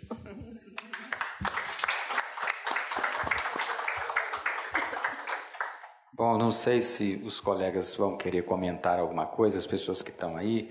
Eu Até queria pra... agradecer, naturalmente, as intervenções, tanto do, do professor Paulo quanto da da professora, não é? é? A única questão que ela de certa forma colocou, eu imaginei que já tivesse proposto durante o meu comentário, mas de toda forma é, evidente que numa relação terapêutica, enquanto nós estamos vivendo a relação terapêutica, não é possível a relação eu e tu. E isso é, vamos dizer assim, é, é muito interessante de a gente observar e, sobretudo, há, há, um relato claro e específico sobre isso no texto do Cal e Asperas. Ele é que faz esse tipo de análise. Ele faz uma análise dessa. Não é?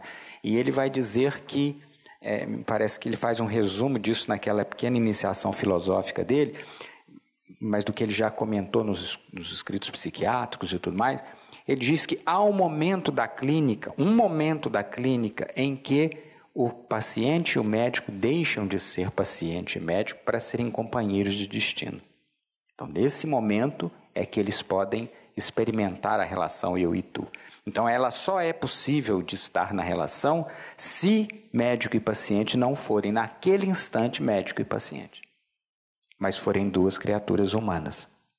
Não é? Que é o que o Buber, de certa forma, falava, que é o que o Frankl também vai dizer. Quando eu, eu aprendi medicina, muito tempo atrás, disseram que no momento que você não conseguisse manter uma, uma distância de julgamento e, e, e se entrasse no, na igualdade com o paciente, você tinha deixado de ser médico, porque você não ia poder tomar a decisão baseada na lógica. Então, acho que a gente devia discutir se de fato é possível, é, é, porque eu fui isso é, é, mais ou menos um, um dogma, né? Quando você é, e, e, e, isso, eu acho que a, a, discussão disso com alunos, com os futuros médicos, é porque você não pode se privar do fato de se, porque senão você nega a compaixão. A compaixão é você se, se colocar na posição do outro, sentir a mesma coisa que o outro. Então, é, quer dizer, não, você não pode interpretar aquilo que eu interpretei, assim, você tem que manter um certo distanciamento para poder agir sem se deixar contaminar por. É eles usavam isso para medicina fútil, aquela medicina que você prolonga a vida artificialmente, porque você também entra na posição do eu não, não quero que aquela pessoa morra, né? se isso vale para um evento terminal, talvez não valha no momento da cumplicidade que você tem que ter para que o indivíduo tenha confiança em você e que você possa ouvir aquela pessoa. A maior dificuldade que eu tenho, que eu vejo hoje com alunos, eu acho que isso vai muito além da psicanálise, é do médico se colocar na mesma é, nível e entender a pessoa com a sua dimensão humana e fazer uma ponte. Se não fizer isso, eu tenho certeza que não, não vai. Então, eu acho que isso seria um bom debate para a gente fazer um dia com alunos de, de eu, comecei a ver isso, eu falei, isso aqui se aplica a praticamente tudo além da psicologia. Então, eu, eu, eu acho que valeria, isso seria uma base para um, para o verdadeiro exercício da ética médica. Uma parte da sua fala, eu acho que para qualquer, para qualquer conhecimento, para qualquer aula, com qualquer professor, de qualquer aula. Isso. Era só uma parte. Era só uma parte. Mas, por isso que eu disse que ele é atual. Eu fiquei pensando na minha, na minha tribo. Ó. Sim. Eu acrescentaria isso mais um dado. Eu é, acabei de participar essa semana é, passada de um evento sobre Big Data, né? e é, existe aí toda uma construção de aplicativos usando algoritmos genéticos né, que se dispõem a fazer determinadas atividades humanas melhor do que os seres humanos, entre elas diagnósticos, né? É, e, e para fazer o dar remédio? É, e o argumento, né, é, quando se fala na quarta revolução industrial, é a substituição de determinadas profissões por é, inteligência artificial, entre elas a do médico. Né? É, e o argumento é que não há a emoção, o envolvimento. Quando, na verdade, o bom profissional é aquele que vê mais do que simplesmente dados né, e relações entre os dados. Porque é, a maior parte das coisas que você observa sobre que são importantes para o diagnóstico de uma doença refere-se a hábitos, a temores, a condutas, né? Então, eu acredito que sim, num pronto-socorro, onde o paciente não pode abrir a boca, ou tá, não está em condições, ou numa UTI, talvez você possa ter um sistema que joga um monte de exame e ele te gospe uma determinada conduta. Agora, não é assim que funciona quando a gente vai. E eu vou explicar por quê. Porque essa separação artificial né, da espiritualidade, que depois os filósofos gregos quiseram por ordem um pouco e organizar o mundo de acordo com uma lógica própria. Depois que o Descartes quis uma, é, acabar e, e, falar que você entendeu, porque, porque o grande desafio do homem que quer é superar a angústia de viver. Eu acho esse é o principal. Depois que você sobreviveu chegou, passou dos cinco anos de idade, que você não vai morrer mais de pneumonia, essas coisas desse tipo, é superar a angústia de viver. Então você fazia isso, vou dar um explicando um sentido para a tua vida. Antes era um, uma divindade, depois um sistema de pensamentos, uma lógica, depois você vai. Os iluministas achavam que era. Tanto que na enciclopédia francesa tem muito médico. Né? É, o médico era considerado a profissão que.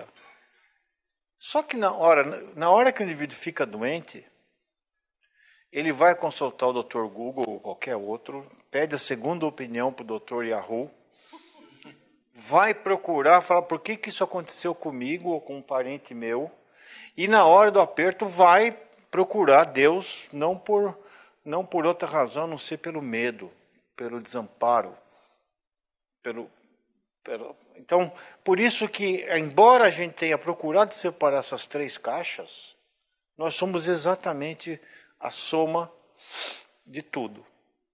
Por isso que eu acho que na hora que você vai conversar com uma pessoa que te procura, você vai ter que ter. Ele não vai dizer para a máquina, não é uma coisa que você tira uma, uma enfermeira, pega um questionário, clica num monte de coisa, mas eu acho que você vai ter um apoio para a atividade médica. E para algumas de operar, essas coisas assim, você vai precisar ainda de algumas coisas que envolvem habilidades manuais e tal. Né? Mas eu acho que para ser médico, o bom médico não é aquele que sabe, decorou o livro de, de clínica médica. É aquele que vai fazer com que o doente seja cúmplice, adira ao tratamento e sinta-se amparado por pela figura que o atende. Por isso que eu acho que esse esse tema deveria ser colocado é, numa discussão como base para ensino de humanidades dentro das áreas de saúde. Ninguém poderia ir para uma área de saúde sem é, estudar um pouquinho melhor de pessoas como, por exemplo, o Buber. Eu queria é, comentar duas coisas, mas queria ouvir os colegas também, as pessoas que estão ouvindo, se quisessem fazer também alguma pergunta, não sei. Mas apenas, é, quando o professor Paulo fez a intervenção inicial, quer dizer, para entendermos o pensamento de Buber, por um lado, a gente precisa entender a ontologia na qual ele se estrutura, a fenomenologia existencial, quando olha o homem, não é, o vê, vamos dizer assim, não mais como aqueles reinos do Aristóteles, não é? mas como é, um conjunto de estruturas que se sobrepõem à matéria, à vida, à consciência e o espírito. Quer dizer, o homem é uma superposição de estratos que estão interrelacionados, não é? de tal forma, vamos dizer assim, que embora, é, vamos dizer assim, sem, sem matéria você não tenha vida, sem vida você não tenha consciência, sem consciência você não tem espírito, né? embora você esteja articulado dessa maneira, esse conjunto, depois de constituído, ele se constitui como uma coisa íntegra, ele, ele se influencia de cima para baixo, de baixo para cima. Não é? Mas é muito interessante a forma como isso foi posta, por exemplo, por, por Hartmann e depois repetido por Scheller. Primeiro, porque autores, os psicólogos e os filósofos da fenomenologia vão participar disso. Né? O relata que andava com o livrinho do Scheller debaixo do braço. Então, essa é uma, uma coisa interessante. Né? A gente perceber essa estratificação, essa, essa consolidação é, feita dessa forma. E, e, não ter a ilusão, e aí vem o grande problema, né? O, eu queria comentar também uma questão, você falou que o Buber ficou de escanteio. Essa é uma coisa interessante, já que o senhor falou das, de algumas das nossas coisas universitárias, a universidade tem umas coisas muito bonitas, não é? O principal filósofo português do século passado, Delfim Santos, que era professor de filosofia, estudou na Alemanha, na Inglaterra e tal, quando ele voltou para lá para a Universidade de Lisboa, puseram ele na Faculdade de Educação, porque ele não, não falava uma filosofia que eles queriam ouvir. Entendeu? Então foi lá para a Faculdade de Educação e lá é que ele desenvolveu a sua vida acadêmica, propriamente escrevendo alguns artigos para o jornal e tal mas é, afastado daquilo que era o, o, o, fundamental, aquilo para que ele se preparou, e ele construiu, e uma das a sua tese de doutoramento foi uma crítica brutal ao neopositivismo, em que ele destrói praticamente o neopositivismo, isso a gente comenta pouco e, e fala pouco, né? mas ele praticamente destrói o neopositivismo, não com argumentos de fora, ele, mas de dentro do próprio neopositivismo, discutindo com com Moritz Schlick, Rudolf Carnap, Wittgenstein. Ele vai mostrando, olha, isso aqui é inviável por isso, por isso, por isso, por isso. Desconstruindo todo esse neopositivismo e, e para coisa. O Frank tem uma passagem muito interessante do ponto de vista médico, dizer que os estudantes de medicina perdem a humanidade no terceiro ano. Alguns recuperam no final da vida profissional, outros nunca mais. Então isso é uma coisa muito triste, não é? Ouvir esse tipo de coisa. Né? Mas isso, enfim, é, é, é relato do, do Frankl. É, é, muito fácil perder a humanidade ao longo do curso médio, muito fácil. Né? É, alguns não conseguem perder, e da minha turma dos 65 tivemos sete suicídios. Então, o, mas eu vejo que está mudando. Cada vez mais eu sinto que a, a ânsia por você colocar. É, é, porque isso começa com um movimento muito organizado, foi o relatório Flexner, 1910, que define o que era uma boa escola de medicina e, embora não tivesse, por um educador. O Flexner não era médico, ele era, um, era de fora da caixa ele usa a régua da Johns Hopkins. Né? Então tem que ter a melhor pesquisa possível e um hospital escola. Né? E o, o, isso gerou muito Dr. House, sabe? E, e poucos Kildare. É, e agora o Flexner foi revisitado 100 anos depois pela Universidade da Califórnia. E as competências que você coloca são completamente. É, são, eles mantêm o que o Flexner coloca, mas acrescentam outras coisas. Como é que a gente ensina isso? Como é que você cria uma ambiência para que isso seja cultivado? E, e, isso não existe uma resposta ainda.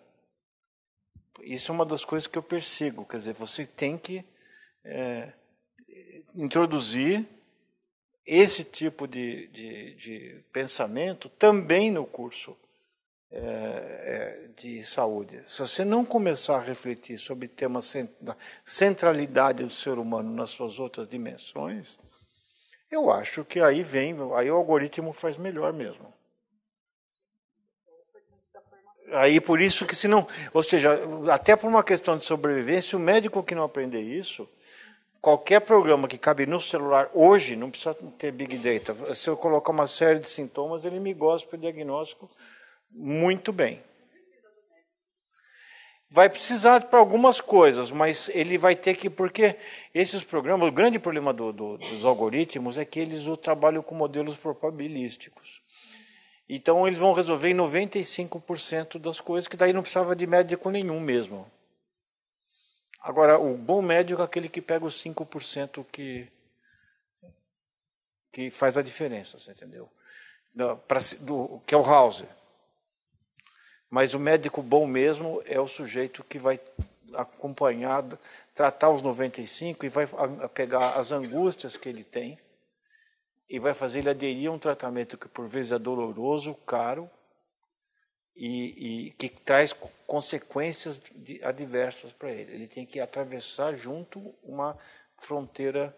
Eu não vou falar pinguela estreita, porque isso já pode me remeter a outros conceitos, mas é, que vai fazer com que é, ele supere isso e tenha forças, inclusive, para superar isso. Ok, eu não sei se algum dos, das pessoas que estão conosco quer comentar ou quer fazer alguma pergunta especificamente. Nosso tempo está terminando, né, Mônica? Temos mais quanto tempo ainda? Né? Então, eu queria ouvir os, as pessoas que quisessem comentar ou perguntar alguma coisa. Queria saber como é que o senhor. Como quem faz missão externa não sabe mas quando eu falo, quando eu falo, eles desligam, né? Para não envergonhar o instituto. Existe uma instrução para. Põe no mute. Ah, você, você fala o seu nome? Tá Meu nome é Veridiana Pedrosa, eu sou jornalista. E eu queria saber como é que o senhor se sentiu atraído para estudar, pesquisar. Qual é a origem? Como é que começou? Bem, eu sou professor de filosofia contemporânea né? Fui, fui, me aposentei como professor eh, titular de filosofia contemporânea, e minha área de investigação é, ou eh, aquilo que me, me, me, me coloca, vamos dizer assim, na área de investigação, foi o pensamento fenomenológico existencial.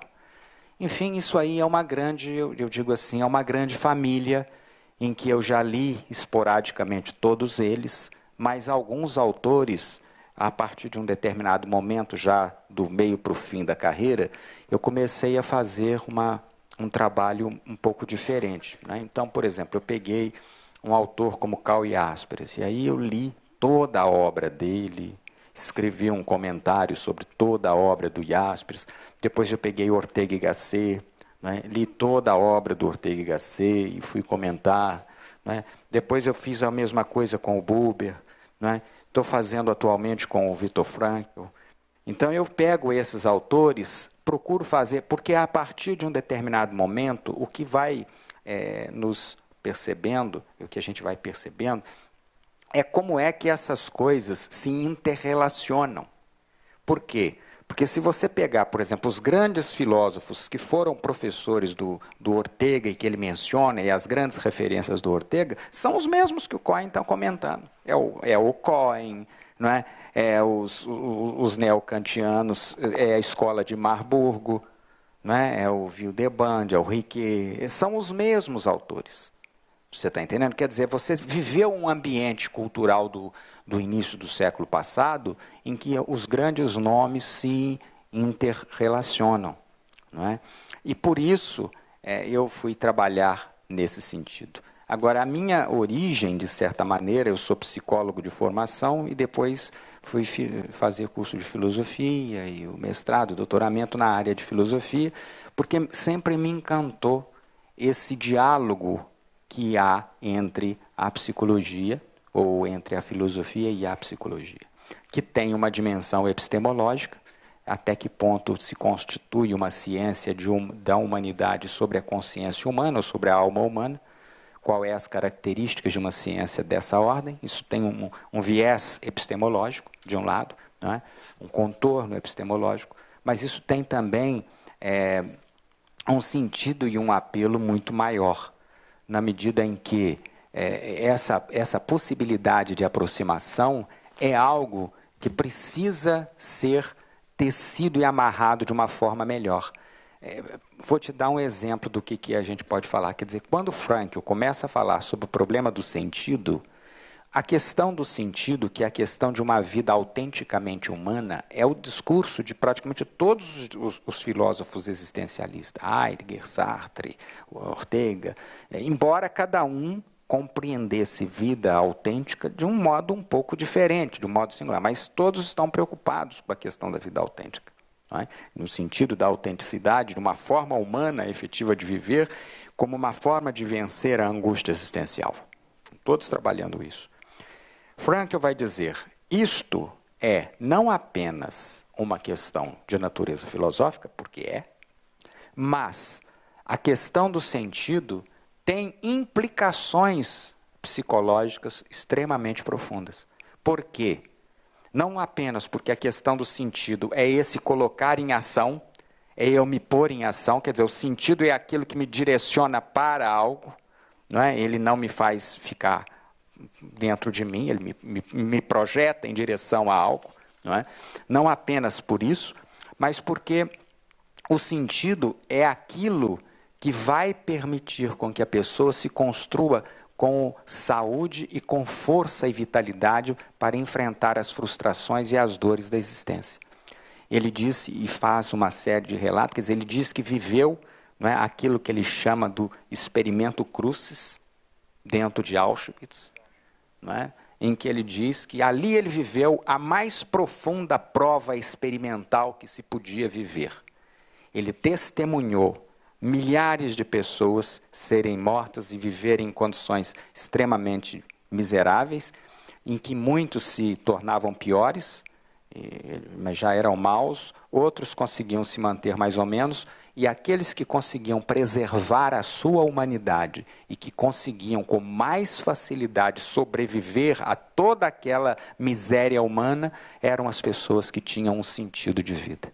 Ele próprio sobreviveu porque achava que tinha como missão ensinar a análise existencial. Ele queria escrever o resumo de uma proposta psiquiátrica, de um projeto de, de psicoterapia, não é? é? baseado na análise existencial. Ele escreveu uns rascunhos, botou dentro da roupa, os alemães tomaram dele, jogaram fora, ele ficou apertado com aquilo, quer dizer, não, não tinha mas ele, ele, depois, num determinado momento da vida, enquanto ele estava extremamente sofrendo, já quase no final, dentro do campo de concentração, ele falou assim: Eu acho que a minha vida é uma vida extremamente miserável, eu quero sobreviver para escrever um livro. Não é? Ele pensando assim, e isso é uma coisa realmente muito interessante.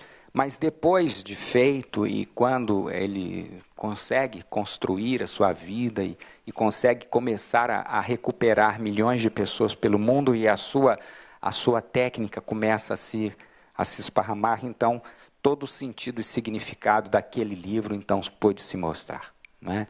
Porque nós estamos diante, e aí a gente se coloca, claro, quer dizer, ele está explicando isso, você não está eliminando as chamadas neuroses psicogênicas, e nem aquelas que têm origem clínica e física, porque há vários problemas físicos que, que redundem em alterações da consciência, não há a menor dúvida disso. Mas que a maior parte hoje das pessoas que sofrem no mundo, não é, e sofrem de forma neurótica, sofrem por falta de um sentido, que as impede de viver, que faz isso tudo que o professor mencionou, Hoje, em, mesmo correntes como, por exemplo, a psicanálise, que não trabalham tanto com a questão de uma neurose social, com a questão da análise da conjuntura, vamos dizer, do contexto no qual vive o seu cliente, porque acham que a neurose vem de uma espécie de nó que se estabeleceu dentro da, da malha né, da inconsciência da pessoa, então é apenas um, um, processo em que aquilo se repete e o sintoma é, é, é dessa ordem. Mas mesmo essas, essas pessoas estão hoje dizendo que a libido não é, não está encontrando uma expressão erótica da forma adequada, porque ela foi substituída pelo, pela procura do prazer, do gozo imediato e, portanto, da mercadoria.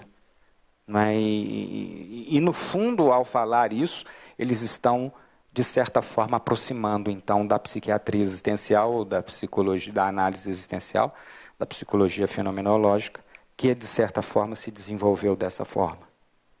Entende? Quer dizer, há um grande, um grande sofrimento que vem dessa falta de sentido da existência.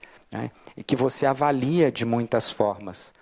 É, eu, eu, eu, ainda atendo na, na clínica e hoje uma das queixas que eu mais escuto, às vezes as pessoas que chegam eh, de meia idade, pessoas de, né, normalmente já com uma vida profissional estabelecida, alguns já até com bastante sucesso profissional, a pessoa diz algo mais ou menos assim, olha, eu nem sei por que, que eu estou aqui, porque na verdade eu tô, eu estou bem, eu, não, eu, eu tenho tudo para ser feliz, eu tenho isso, eu tenho uma bela casa, eu tenho um belo carro, eu tenho uma mulher bonita, eu tenho filhos saudáveis, eu tenho isso, eu tenho, eu tenho, eu tenho, eu tenho, mas eu, mas eu, minha vida não tem graça. Eu não estou não, não, não, não tô feliz, eu, alguma coisa está errada. Você está entendendo? O sujeito acha que alguma coisa está errada.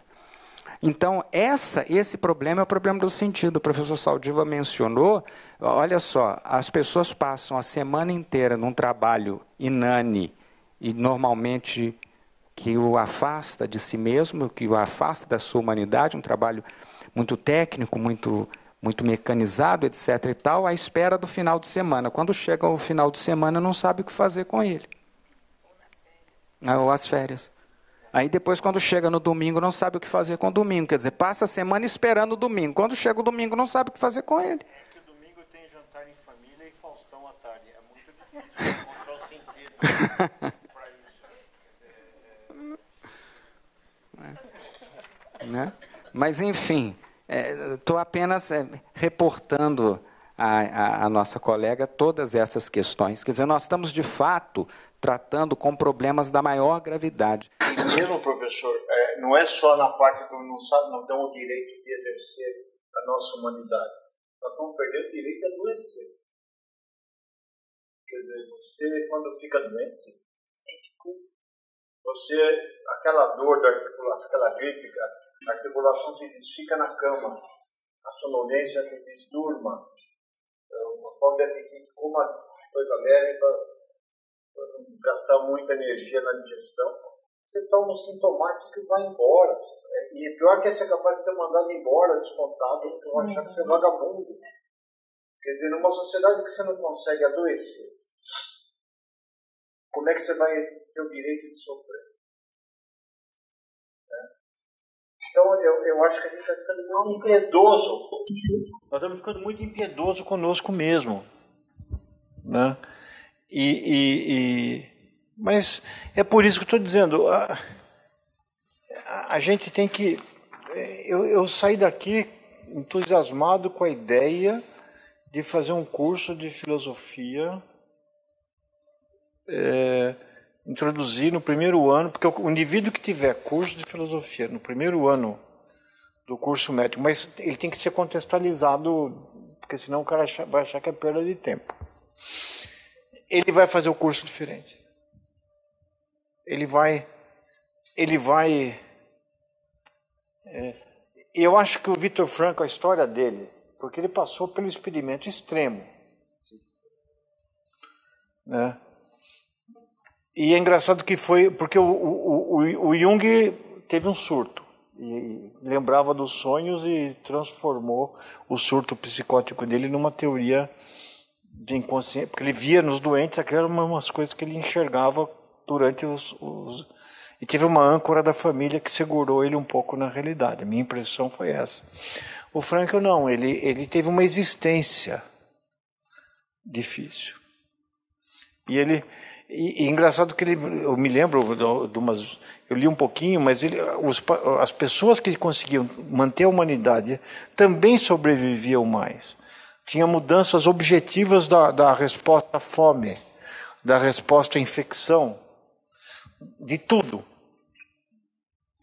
Por isso que aí que está a diferença entre o algoritmo e a, e a máquina. E a máquina. Há um, um, ponto muito interessante e ele, ele relata, isso não foi, está é, tá naquele livro da Rebeca sobre Franklin, não está nem no, no texto dele, diz que quando ele teve aqui em Porto Alegre, o Franklin, ele tinha feito uma palestra e uma das pessoas se levantou, uma senhora se levantou e comentou com ele, comentou que havia conhecido a a esposa, a primeira esposa dele, a Tilly, que morreu no campo de concentração. E que ela disse no campo de concentração que o Frank iria sobreviver porque a fome dele não estava no estômago, estava na vontade de conhecer. Né? Então é, é mais ou menos essas coisas. Temos uma pergunta de um colega seu, doutor. Ele está perguntando aqui o seguinte, professor Voltan Tavares Lima. É ele que estava dizendo, mandando o WhatsApp. É, ele está mandando aqui a seguinte questão. É, ele queria saber se existe alguma relação entre o eu e tu e a busca de Buber sobre a falta que sentia de sua mãe. Esse episódio é um episódio muito interessante, quer dizer, a mãe de Buber, a partir de um certo momento, ela abandona a casa, vai-se embora né, e deixa o menino com o pai. Buber, então, é, é levado para a casa dos avós paternos, né, porque o pai ficou sozinho com o menino, e ele é levado para a casa dos avós paternos para ser cuidado, criado pelo pai. E ele vive ali, em primeiro lugar, uma. Ele relata no, na, no livro dele de, de memórias, na autobiografia que ele escreveu, que a partir de um determinado momento eles, a, a família contratou uma jovem adolescente para tomar conta dele. E ele, então, um dia é, comentou qualquer coisa sobre a mãe e a moça falou com ele assim: ela nunca mais voltará. E essa palavra para ele, ela nunca mais voltará, é? foi uma coisa que realmente o marcou muito profundamente. Mas as questões é, propriamente da relação eu e tu, é, ele não desenvolveu, me parece, em razão disso, porque, a, a, ao contrário, ele vai atribuir a essa intensidade de aproximação humana, ele vai dizer que isso era característica do pai que, embora não fosse um homem intelectual como era o avô, que era um hermeneuta, estudioso da cultura judaica, de onde ele aprendeu a, a, o conhecimento daqueles mitos assídicos e, e, começou a estudar o judaísmo, não é? O avô era um homem profundamente intelectual, o pai não era, mas o pai era alguém muito intenso nas relações. Então o pai o influenciou dessa forma. Mas, de certa maneira, ele passa a viver e a medir as suas próprias relações pela capacidade e pela possibilidade de encontro. Então ele já bem mais velho, ele já casado, encontrou-se, a mãe voltou um dia para encontrar com ele. E a mãe o encontrou e, e eles conversaram algumas palavras, já ele já era casado, adulto. Ele disse: "A minha mãe ainda era uma mulher muito bonita, né? já era uma mulher, coisa, mas ele definiu esse reencontro com a mãe com a palavra desencontro.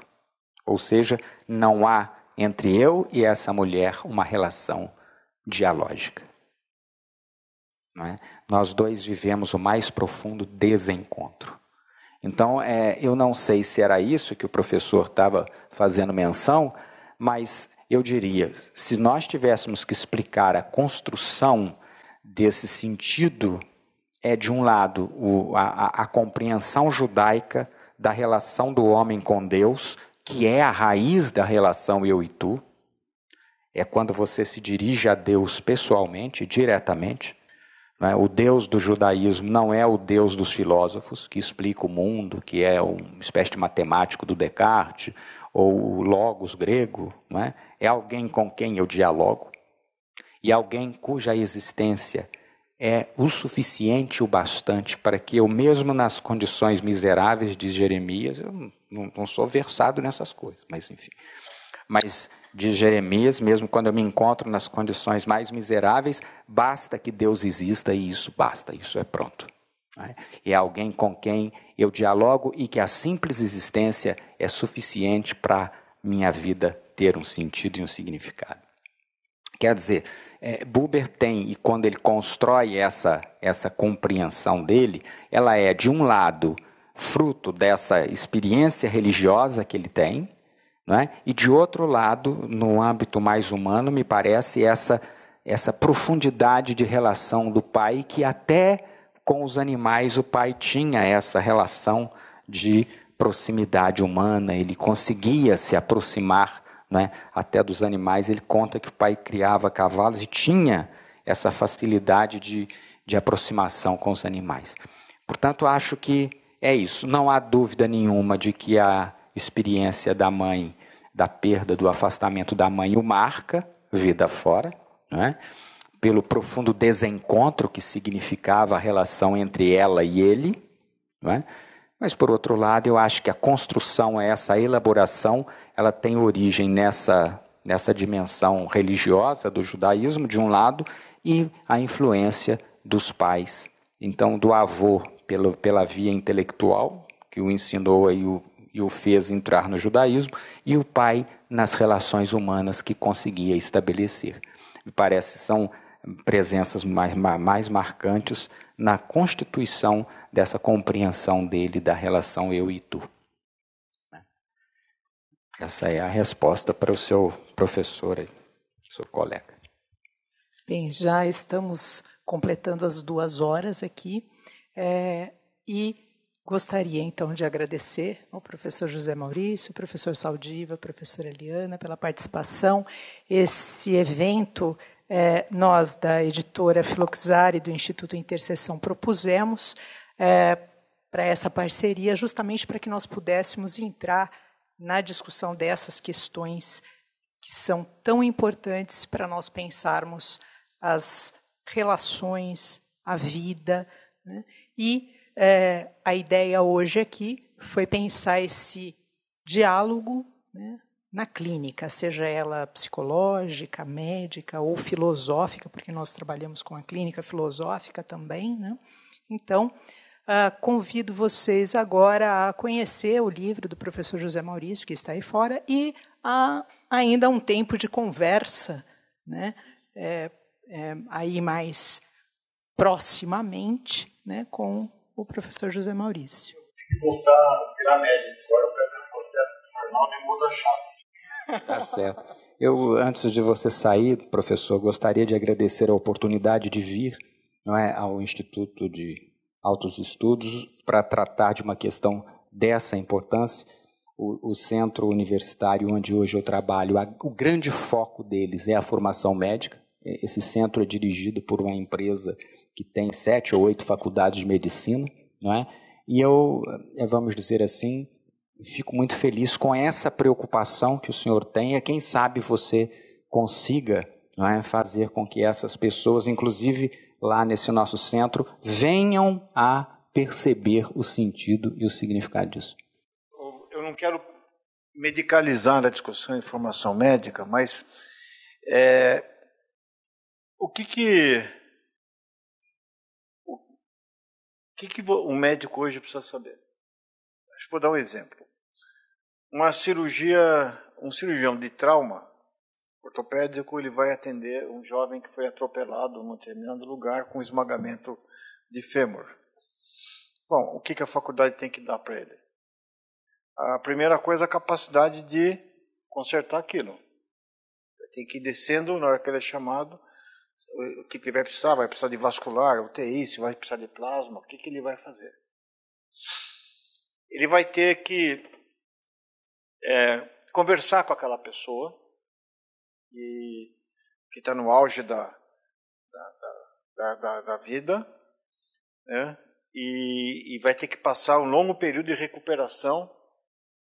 E como é que ele vai atravessar isso? Não vai desistir, não vai fazer coisa, tem que conversar com a família deles, tem que ter a compaixão. Mas ao mesmo tempo ele tem que olhar e saber que é é, é, é, o quinto caso que ele atende do mesmo cruzamento, ou seja, tem um problema de sinalização. Então ele tem que pensar um pouquinho para fora. A gente ensina bem a primeira parte. Bem ou mal, mas é isso que o CRM cobra, é isso que as sociedades cobram, mas está faltando dois dos componentes fundamentais na formação médica, como definido pela análise do relatório Carnegie é, dois anos depois. O, a relação médico-paciente, eu podia dar um curso muito curto, faça com aquela pessoa aquilo que você gostaria que fizesse com você, uma, uma pessoa que você ama, dadas as circunstâncias que você tem na mão. Mas acho que pode sofisticar um pouco isso, né? porque senão dava um curso de uma frase. Né? E. É, isso, trata exatamente isso. Trata o outro quando tu está doente, tu tem que tratar né, como você gostaria que tratasse a você próprio. Você se coloca na posição da pessoa que está naquela situação. Mas também tá, tem que saber um pouquinho de antropologia, tem que saber um pouquinho de uma visão mais macro, porque senão nós, é, é o exemplo típico que não ocorre, ocorre com a gente. Aquele corredor Francisco Morato Rebouças produz oito indivíduos com incapacidade permanente por mês por mês. É, uns 30% deles vêm da quadra do Hospital das Clínicas. Porque tem uma calçada longa, né? Do lado do HC, mas do lado tem as, as, as alamedas do jardim, dos jardins. E é o único ponto de ônibus que você não tem passagem faixa de pedestre. Vocês imaginam que a gente vai subir uma.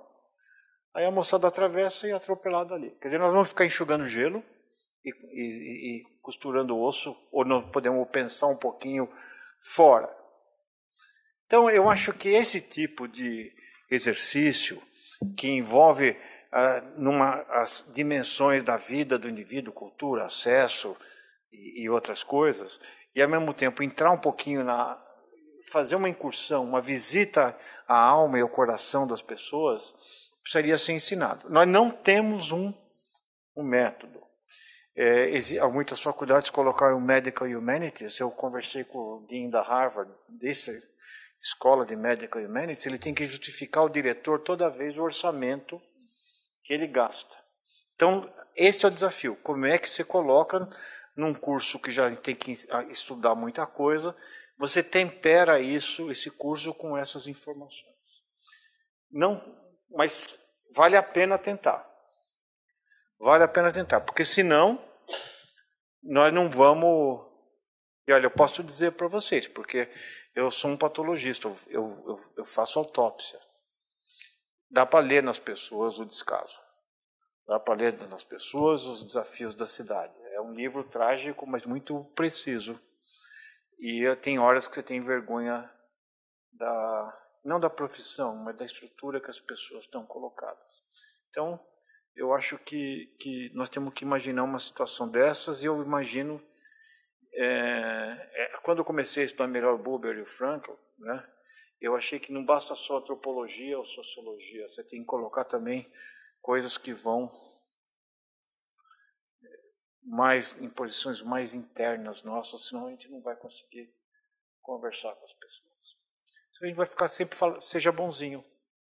O curso é sempre seja bonzinho, seja bonzinho. Não é isso. Seja igual. É diferente de ser bonzinho. Ser bonzinho significa uma posição de superioridade, de magnanimidade. Não, o, o, o buraco é mais embaixo. Então, como é que a gente faz isso? Talvez a gente possa depois desenvolver em outros encontros, mas uma proposta de você fazer um pacote de humanização de, de, de, de humanidades médicas que possa ser generoso, compartilhado, espalhado, uhum. né, para essa proliferação de escolas médicas que teve no, no Brasil, talvez seja uma solução é, boa para nós. Sim, a nossa próxima conferência já está marcada para dia 27 de agosto e ela vai tratar exatamente sobre essa questão de conhecer um pouco mais os contextos, de olhar um pouco mais é, para aquela pessoa que está ali a partir do conceito de hábito em Charles Sanders Peirce. Então, estão convidados. Muito obrigada.